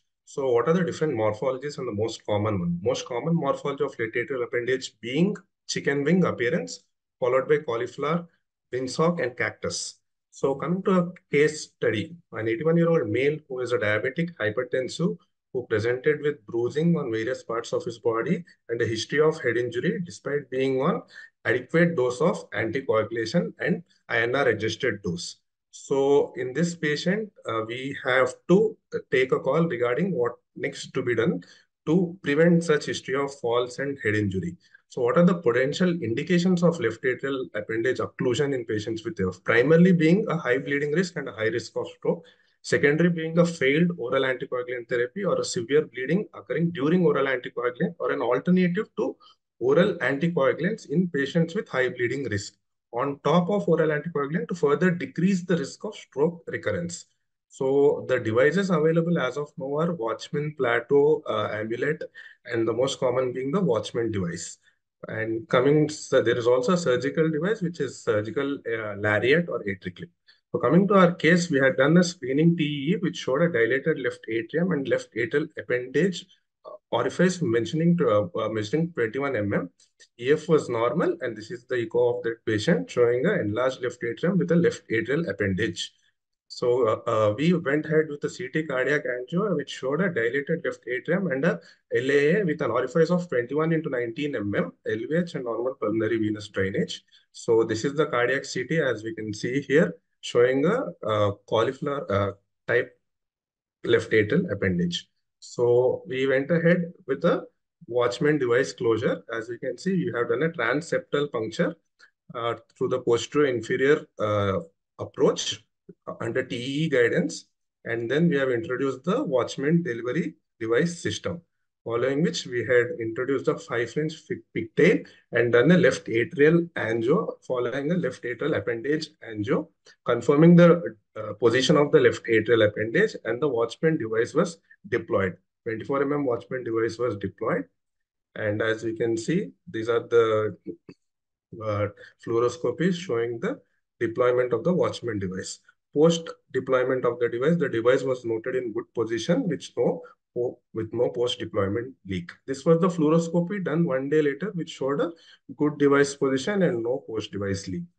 So coming to the complications of this procedure, the complications may include a problem with the device itself, probably a sizing, a reaction to anesthesia, bleeding, chest pain, cardiac arrest, arrhythmias and infection, and pericardial effusion. So coming to the trials, the devices versus the drugs. The first trial is the Protect AF trial. It was a randomized controlled trial done between left appendage uh, occlusion with uh, Watchman or warfarin. So in this, it has shown that the device showed a lesser risk of having stroke, systemic embolization, and death as a primary endpoint. And also the mortality was low in patients who had underwent a Watchman device occlusion. And these are this is an overview of the trial. As we can see, the hemorrhagic stroke, ischemic stroke mortality was much more in the warfarin device, war, warfarin group rather than the device group.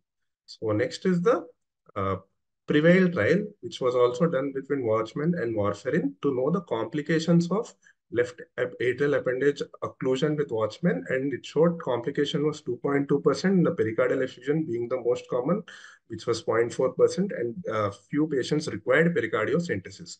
Now, most of the trials, as we discussed, was between warfarin versus Watchman. Prague 17 discussed NOAC versus Watchman, and NOAC versus Watchman, which was a Prague 17 trial, showed that left atrial appendage occlusion was non-inferior to NOAC at preventing net ischemic bleeding events. And in fact, the uh, risk of bleeding was much lesser in patients who had underwent, underwent a Watchman device closure compared to a NOAC. The NOAC which was used here was apixaban.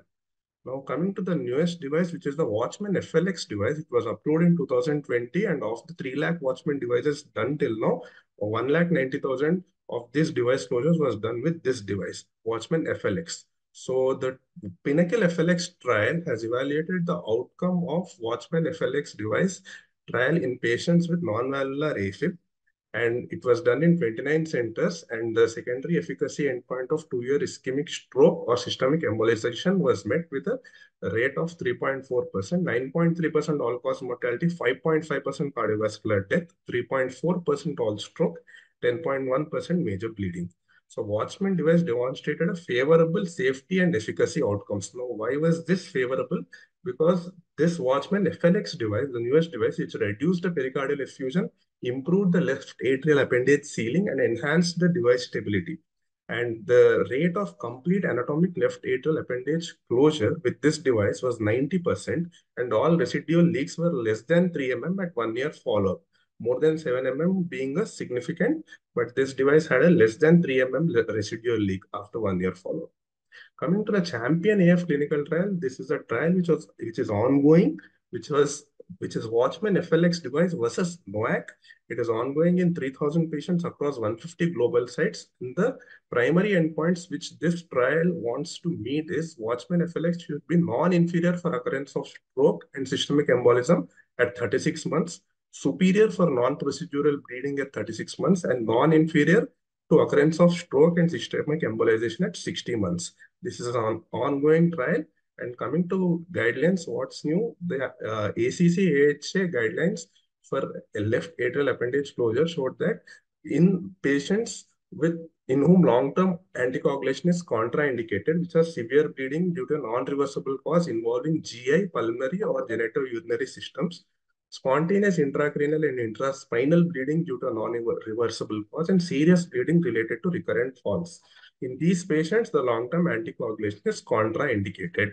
And so the percutaneous left atrial appendage closure has been indicated as a 2A in patients with AF with moderate to high risk of CHA2DS2-VASc and a contraindication, long-term oral anticoagulation due to non-reversible cause, percutaneous LA appendage closure is reversible. And in 2B, in patients with AF with moderate to high risk of stroke and a high risk of major bleeding on oral anticoagulation, left atrial appendage occlusion is reasonable alternative to anticoagulation based on a patient preference and the procedural risk. Now, coming to the surgical left atrial appendage closure in patients with AF undergoing a cardiac surgery with a CHA2DS2-VASc of more than 2, uh, then a surgical LAA occlusion is indicated uh, in addition to continued coagulation, anticoagulation to reduce the risk of stroke and systemic embolism. Now, what does European guidelines say? So the EHRA EAPCI expert consensus statement in 2020 showed that if a patient is suitable for oral anticoagulation, oral anticoagulations can be continued if there is elevated bleeding risk such as HAS-BLED of more than three or thrombocytopenia or need for prolonged anticoagulation, uh, repeated to triple therapy, severe CAD plus stenting, as in our patient who had CABG with an AFib and renal failure as a contraindication to NOAC, then we can go for left atrial appendage occlusion. Or, or, patients are unwilling or unable to take oral anticoagulants, or if there is a contraindication to the oral anticoagulants, left atrial appendage occlusion may be considered. Thank you.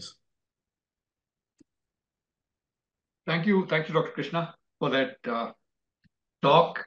I would now invite uh, moderators to give in their uh, valued opinion about uh, uh, left atrial appendage closure. Dr. Venkata has a lot of insights. He's done quite a few lariats and all that. So let's hear him out and then uh, Dr. Satish after that.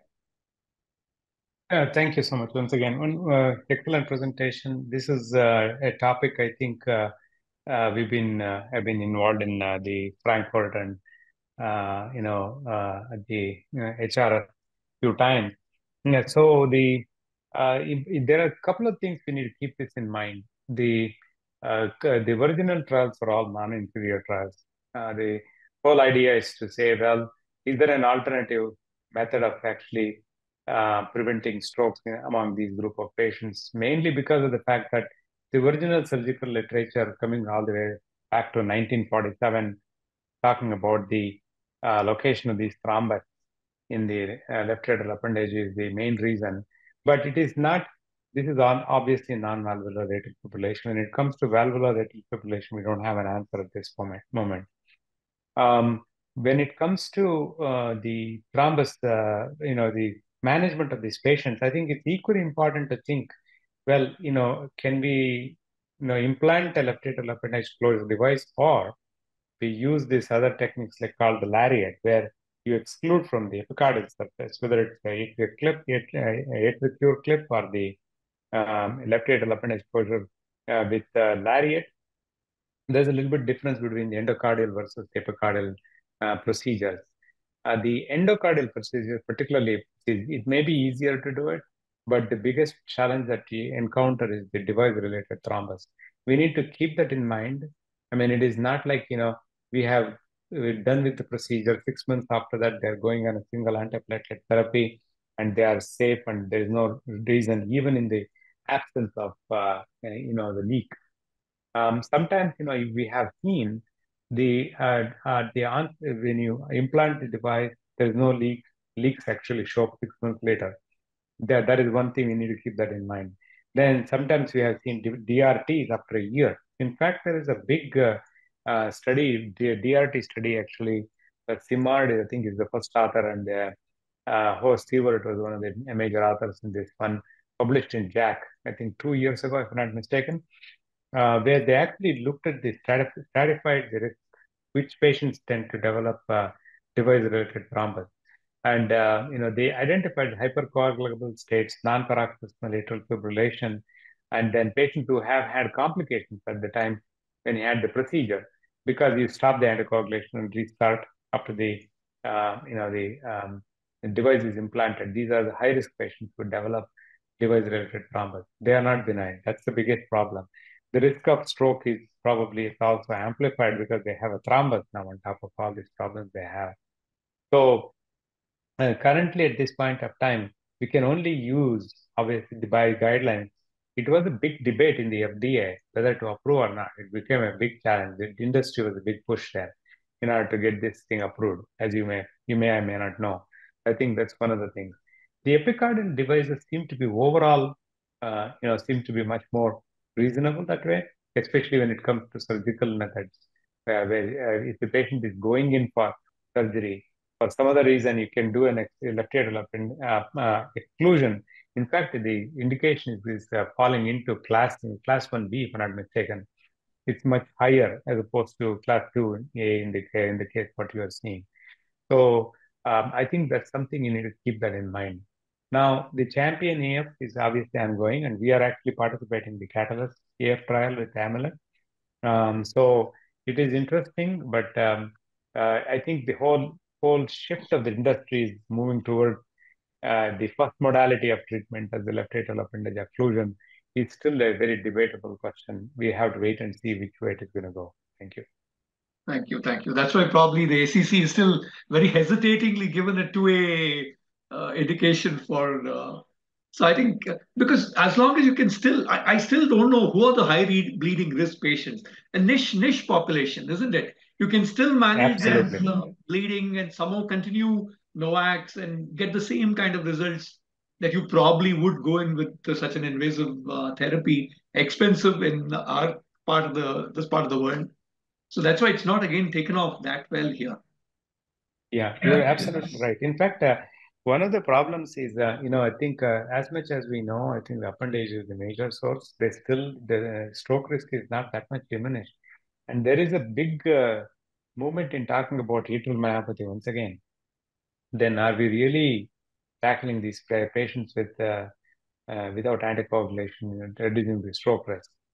So I think uh, those are the many unanswered questions. And like you said, the paravalvular leaks, the device leaks. Yes. The leaks start off mm -hmm. much later, and again you're uh, at a risk. Yes, for, uh, yes, so. yeah. This is it's very disturbing to see the data coming after 365 days when no people stop doing the transesophageal echo and uh, uh, go with a single antiplatelet drug therapy at that time.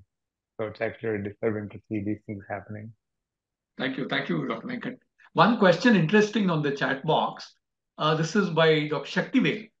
Placing an atrial lead, uh, in this case where you have atrial fibrillation, uh, what are the thoughts in, especially in permanent atrial fibrillation, will it restore sinus rhythm with better control of heart failure and risk factors? Uh, Dr. Satish, would you like to make a comment on this? Understand the question. Uh, placing an atrial lead in permanent atrial fibrillation, he says, could be useful once you restore sinus rhythm for better control of heart failure and risk factors. After better control, probably. What he's trying to say is after Well- better control of heart failure and risk factors, if you can convert permanent. I think I think what he's saying is whether frequent APC is uh, triggering of atrial fibrillation so that uh, I know, placing an atrial lead, he says, something interesting. you put the atrial pace so that there is no APC, suppress the APC. I don't know. Probably. That's what I think, isn't it? That's what we would think of. Somebody who's having paroxysmal atrial fibrillation or high atrial burden, if you overdrive the atrium, especially in sick sinus syndrome, probably you might be able to, sub subset of patients, you might be able to suppress atrial fibrillation in the long run. I think that's the only concept I can think of. What are your thoughts, Dr. Venkat? Um, you know, if you're looking at uh, paroxysmal atrial fibrillation and uh, pacing the atrium, it's uh, still a debatable question because we don't have a lot of data.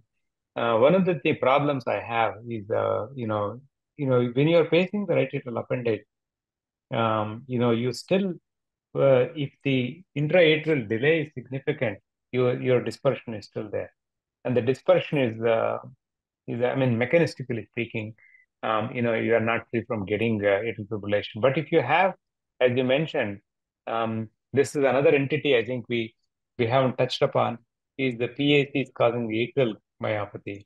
And uh, the concept actually was, uh, it uh, came to me to review the paper years ago, um, um, looking at the strain imaging, what it does to the atrial, uh, you know, uh, function. In fact, it does very similar to what you see with PVC-induced cardiomyopathy, similar to that atrial dysfunction. In those group of patients, it will be interesting concept to look at it, whether atrial pacing will change anything, because you are changing the way that it's almost like uh, doing an AV node ablation and having or the mm, uh, you know in the his bundle pacing or the left bundle area pacing to regularize.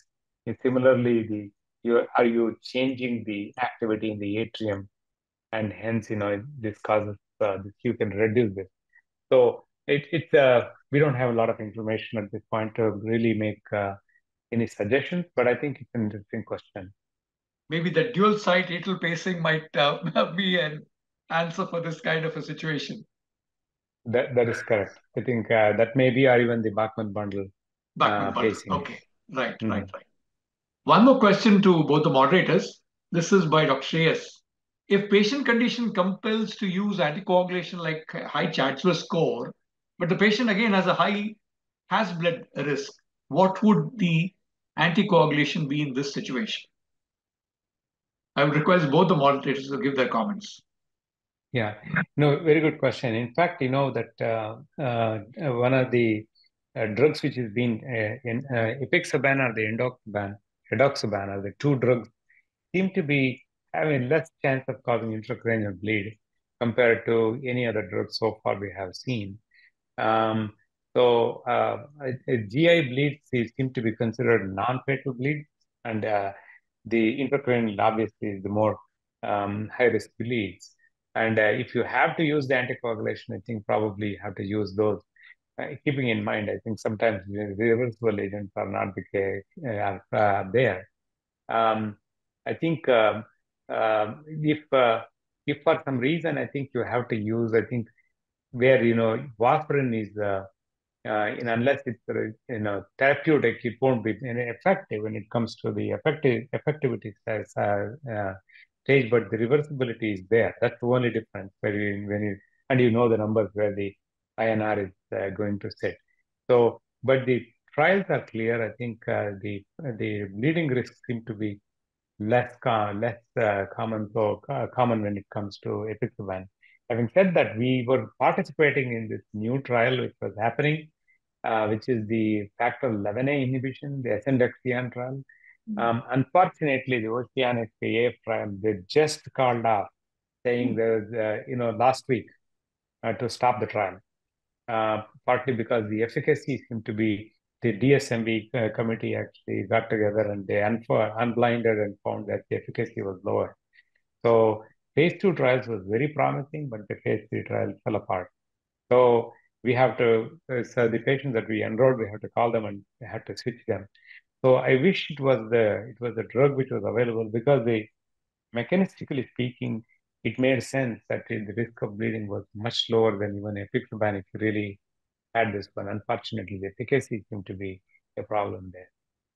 That that's news to me because we were also part, you know, supposed to participate in this trial, the Lebanese mm-hmm. thing. Really? Yeah, yeah, yeah, This is news to me that it's being called off. So that's that's that's yeah. really bad. Just just last week. oh, right, right, right, right. That's yeah. nice. Dr. Satish, your comments? Yeah, I agree with uh, Dr. Venkat, sir. Apixaban is a better uh, drug there. So main thing we are only concerned about intracranial bleeding. Others are uh, less GI or very other side bleedings are less fatal compared to G, uh, IC bleed. Thank you. And then one more uh, question in the chat box. I think this we did allude to, but uh, just to reiterate, uh, Dr. Prashant Salve says post MVR patients with permanent atrial fibrillation and recurrent heart failure would be a candidate for AV nodal ablation and pacemaker.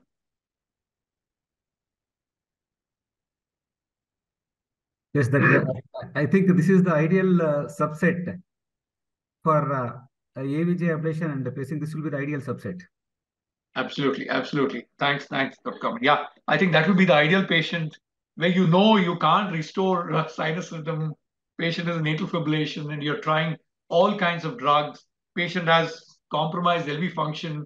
You have limited use of antiarrhythmics to either amiodarone. So obviously, this is, I think, probably a subset of patient where AV nodal ablation would uh, hold the fort. And what all the AVJ ablation spacing we have done is uh, few, uh, it's all rheumatic heart patients where we have done AVJ ablation and pacing. Thank you, thank you, thank you, thank you, Dr. Satish. Uh, I think so. We are running short of time, and then probably we have to conclude the session. It's been a very, very interesting session with a uh, lot of questions and answers and beautiful insights by the uh, moderators, Dr. Venkat and Dr. Satish, and a good host of uh, presentations by uh, all the cardiologists from the Ramaiah uh, Medical College. I thank one and all. A few last comments from both take-home messages from Dr. Venkat and Dr. Satish, and then we would conclude. So we can have Dr. Venkat to give his uh, take-home message. Okay, thank you. First of all, thank you, Dr. Prakash, for inviting me, and it has been an excellent, uh, uh, you know, experience as well as participation and hearing from all the speakers and a lot of insight from many people and uh, and the challenges that you have to face in the rheumatic and the uh, non-valvular atrial fibrillation. And nice to meet you, Dr. Satish, as well. Uh, so the um, as the atrial fibrillation is uh, is an evolving science. We all know, and especially the non-valvular atrial fibrillation, particularly here. But uh, with the word of caution being uh, is uh, you know the trials are all good, and uh, the we need to make sure that we don't get biased by what it comes through. I think it has to be taken one step um, back and one step forward to see how what we understand from these trials, mm, and um, uh, the first uh, first thing is to prevent the stroke. That's probably one of the uh, key things, and uh, stratifying these patients, how we actually manage uh, to reduce the risk of stroke is probably the first line of therapy we need to think about. Then comes the rate and rhythm question. I think there's a big shift in how we are actually managing these patients from um, you know rate control now more in terms of rhythm control. And John Camm is right. I think at some point, we are going to change how we are going to look at it. Now, when it comes to symptoms, this has been a debate. What exactly are the symptoms? Sometimes we see the heart failure, we see the heart rate, these are the only symptoms. We are also seeing one element of a problem, which is the silent cerebral infarction. And uh, the, the, these things uh, tend to happen a lot more commonly than we actually think it is. And the other, Jared Bunch, the big study, uh, the population-based study in the cohort looked at was the development of dementia. And uh, so I think the atrial fibrillation, I think, is an increasingly big problem. It's uh, becoming more like a pandemic proportion.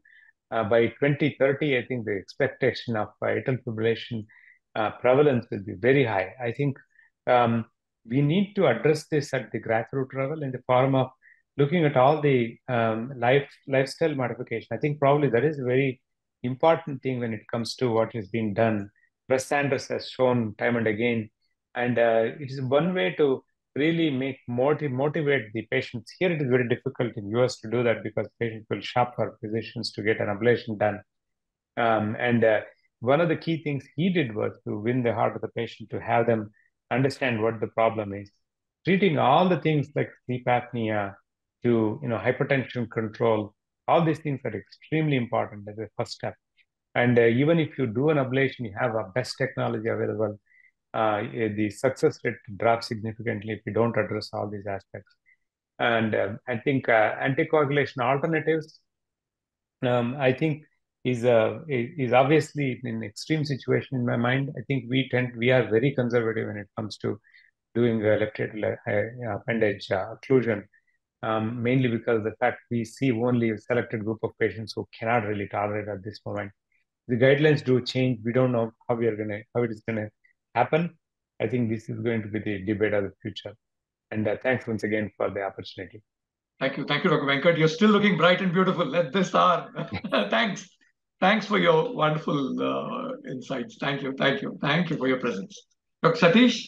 Sir, I'd like to thank uh, VS Prakash and his uh, team. Such a wonderful job you've done, sir. And the presentations were so good and we learned so many things.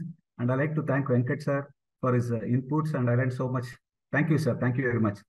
And in India, still, uh, I think uh, what we should know is we should uh, try to put the patient rhythm control, should importance of rhythm control should be learned at the same time, because ablation has not picked up in India, at least the most important thing is lifestyle modification, as we were speaking, taking care of hypertension and mainly obstructive sleep apnea, weight loss, alcohol abstinence. This should be taken care.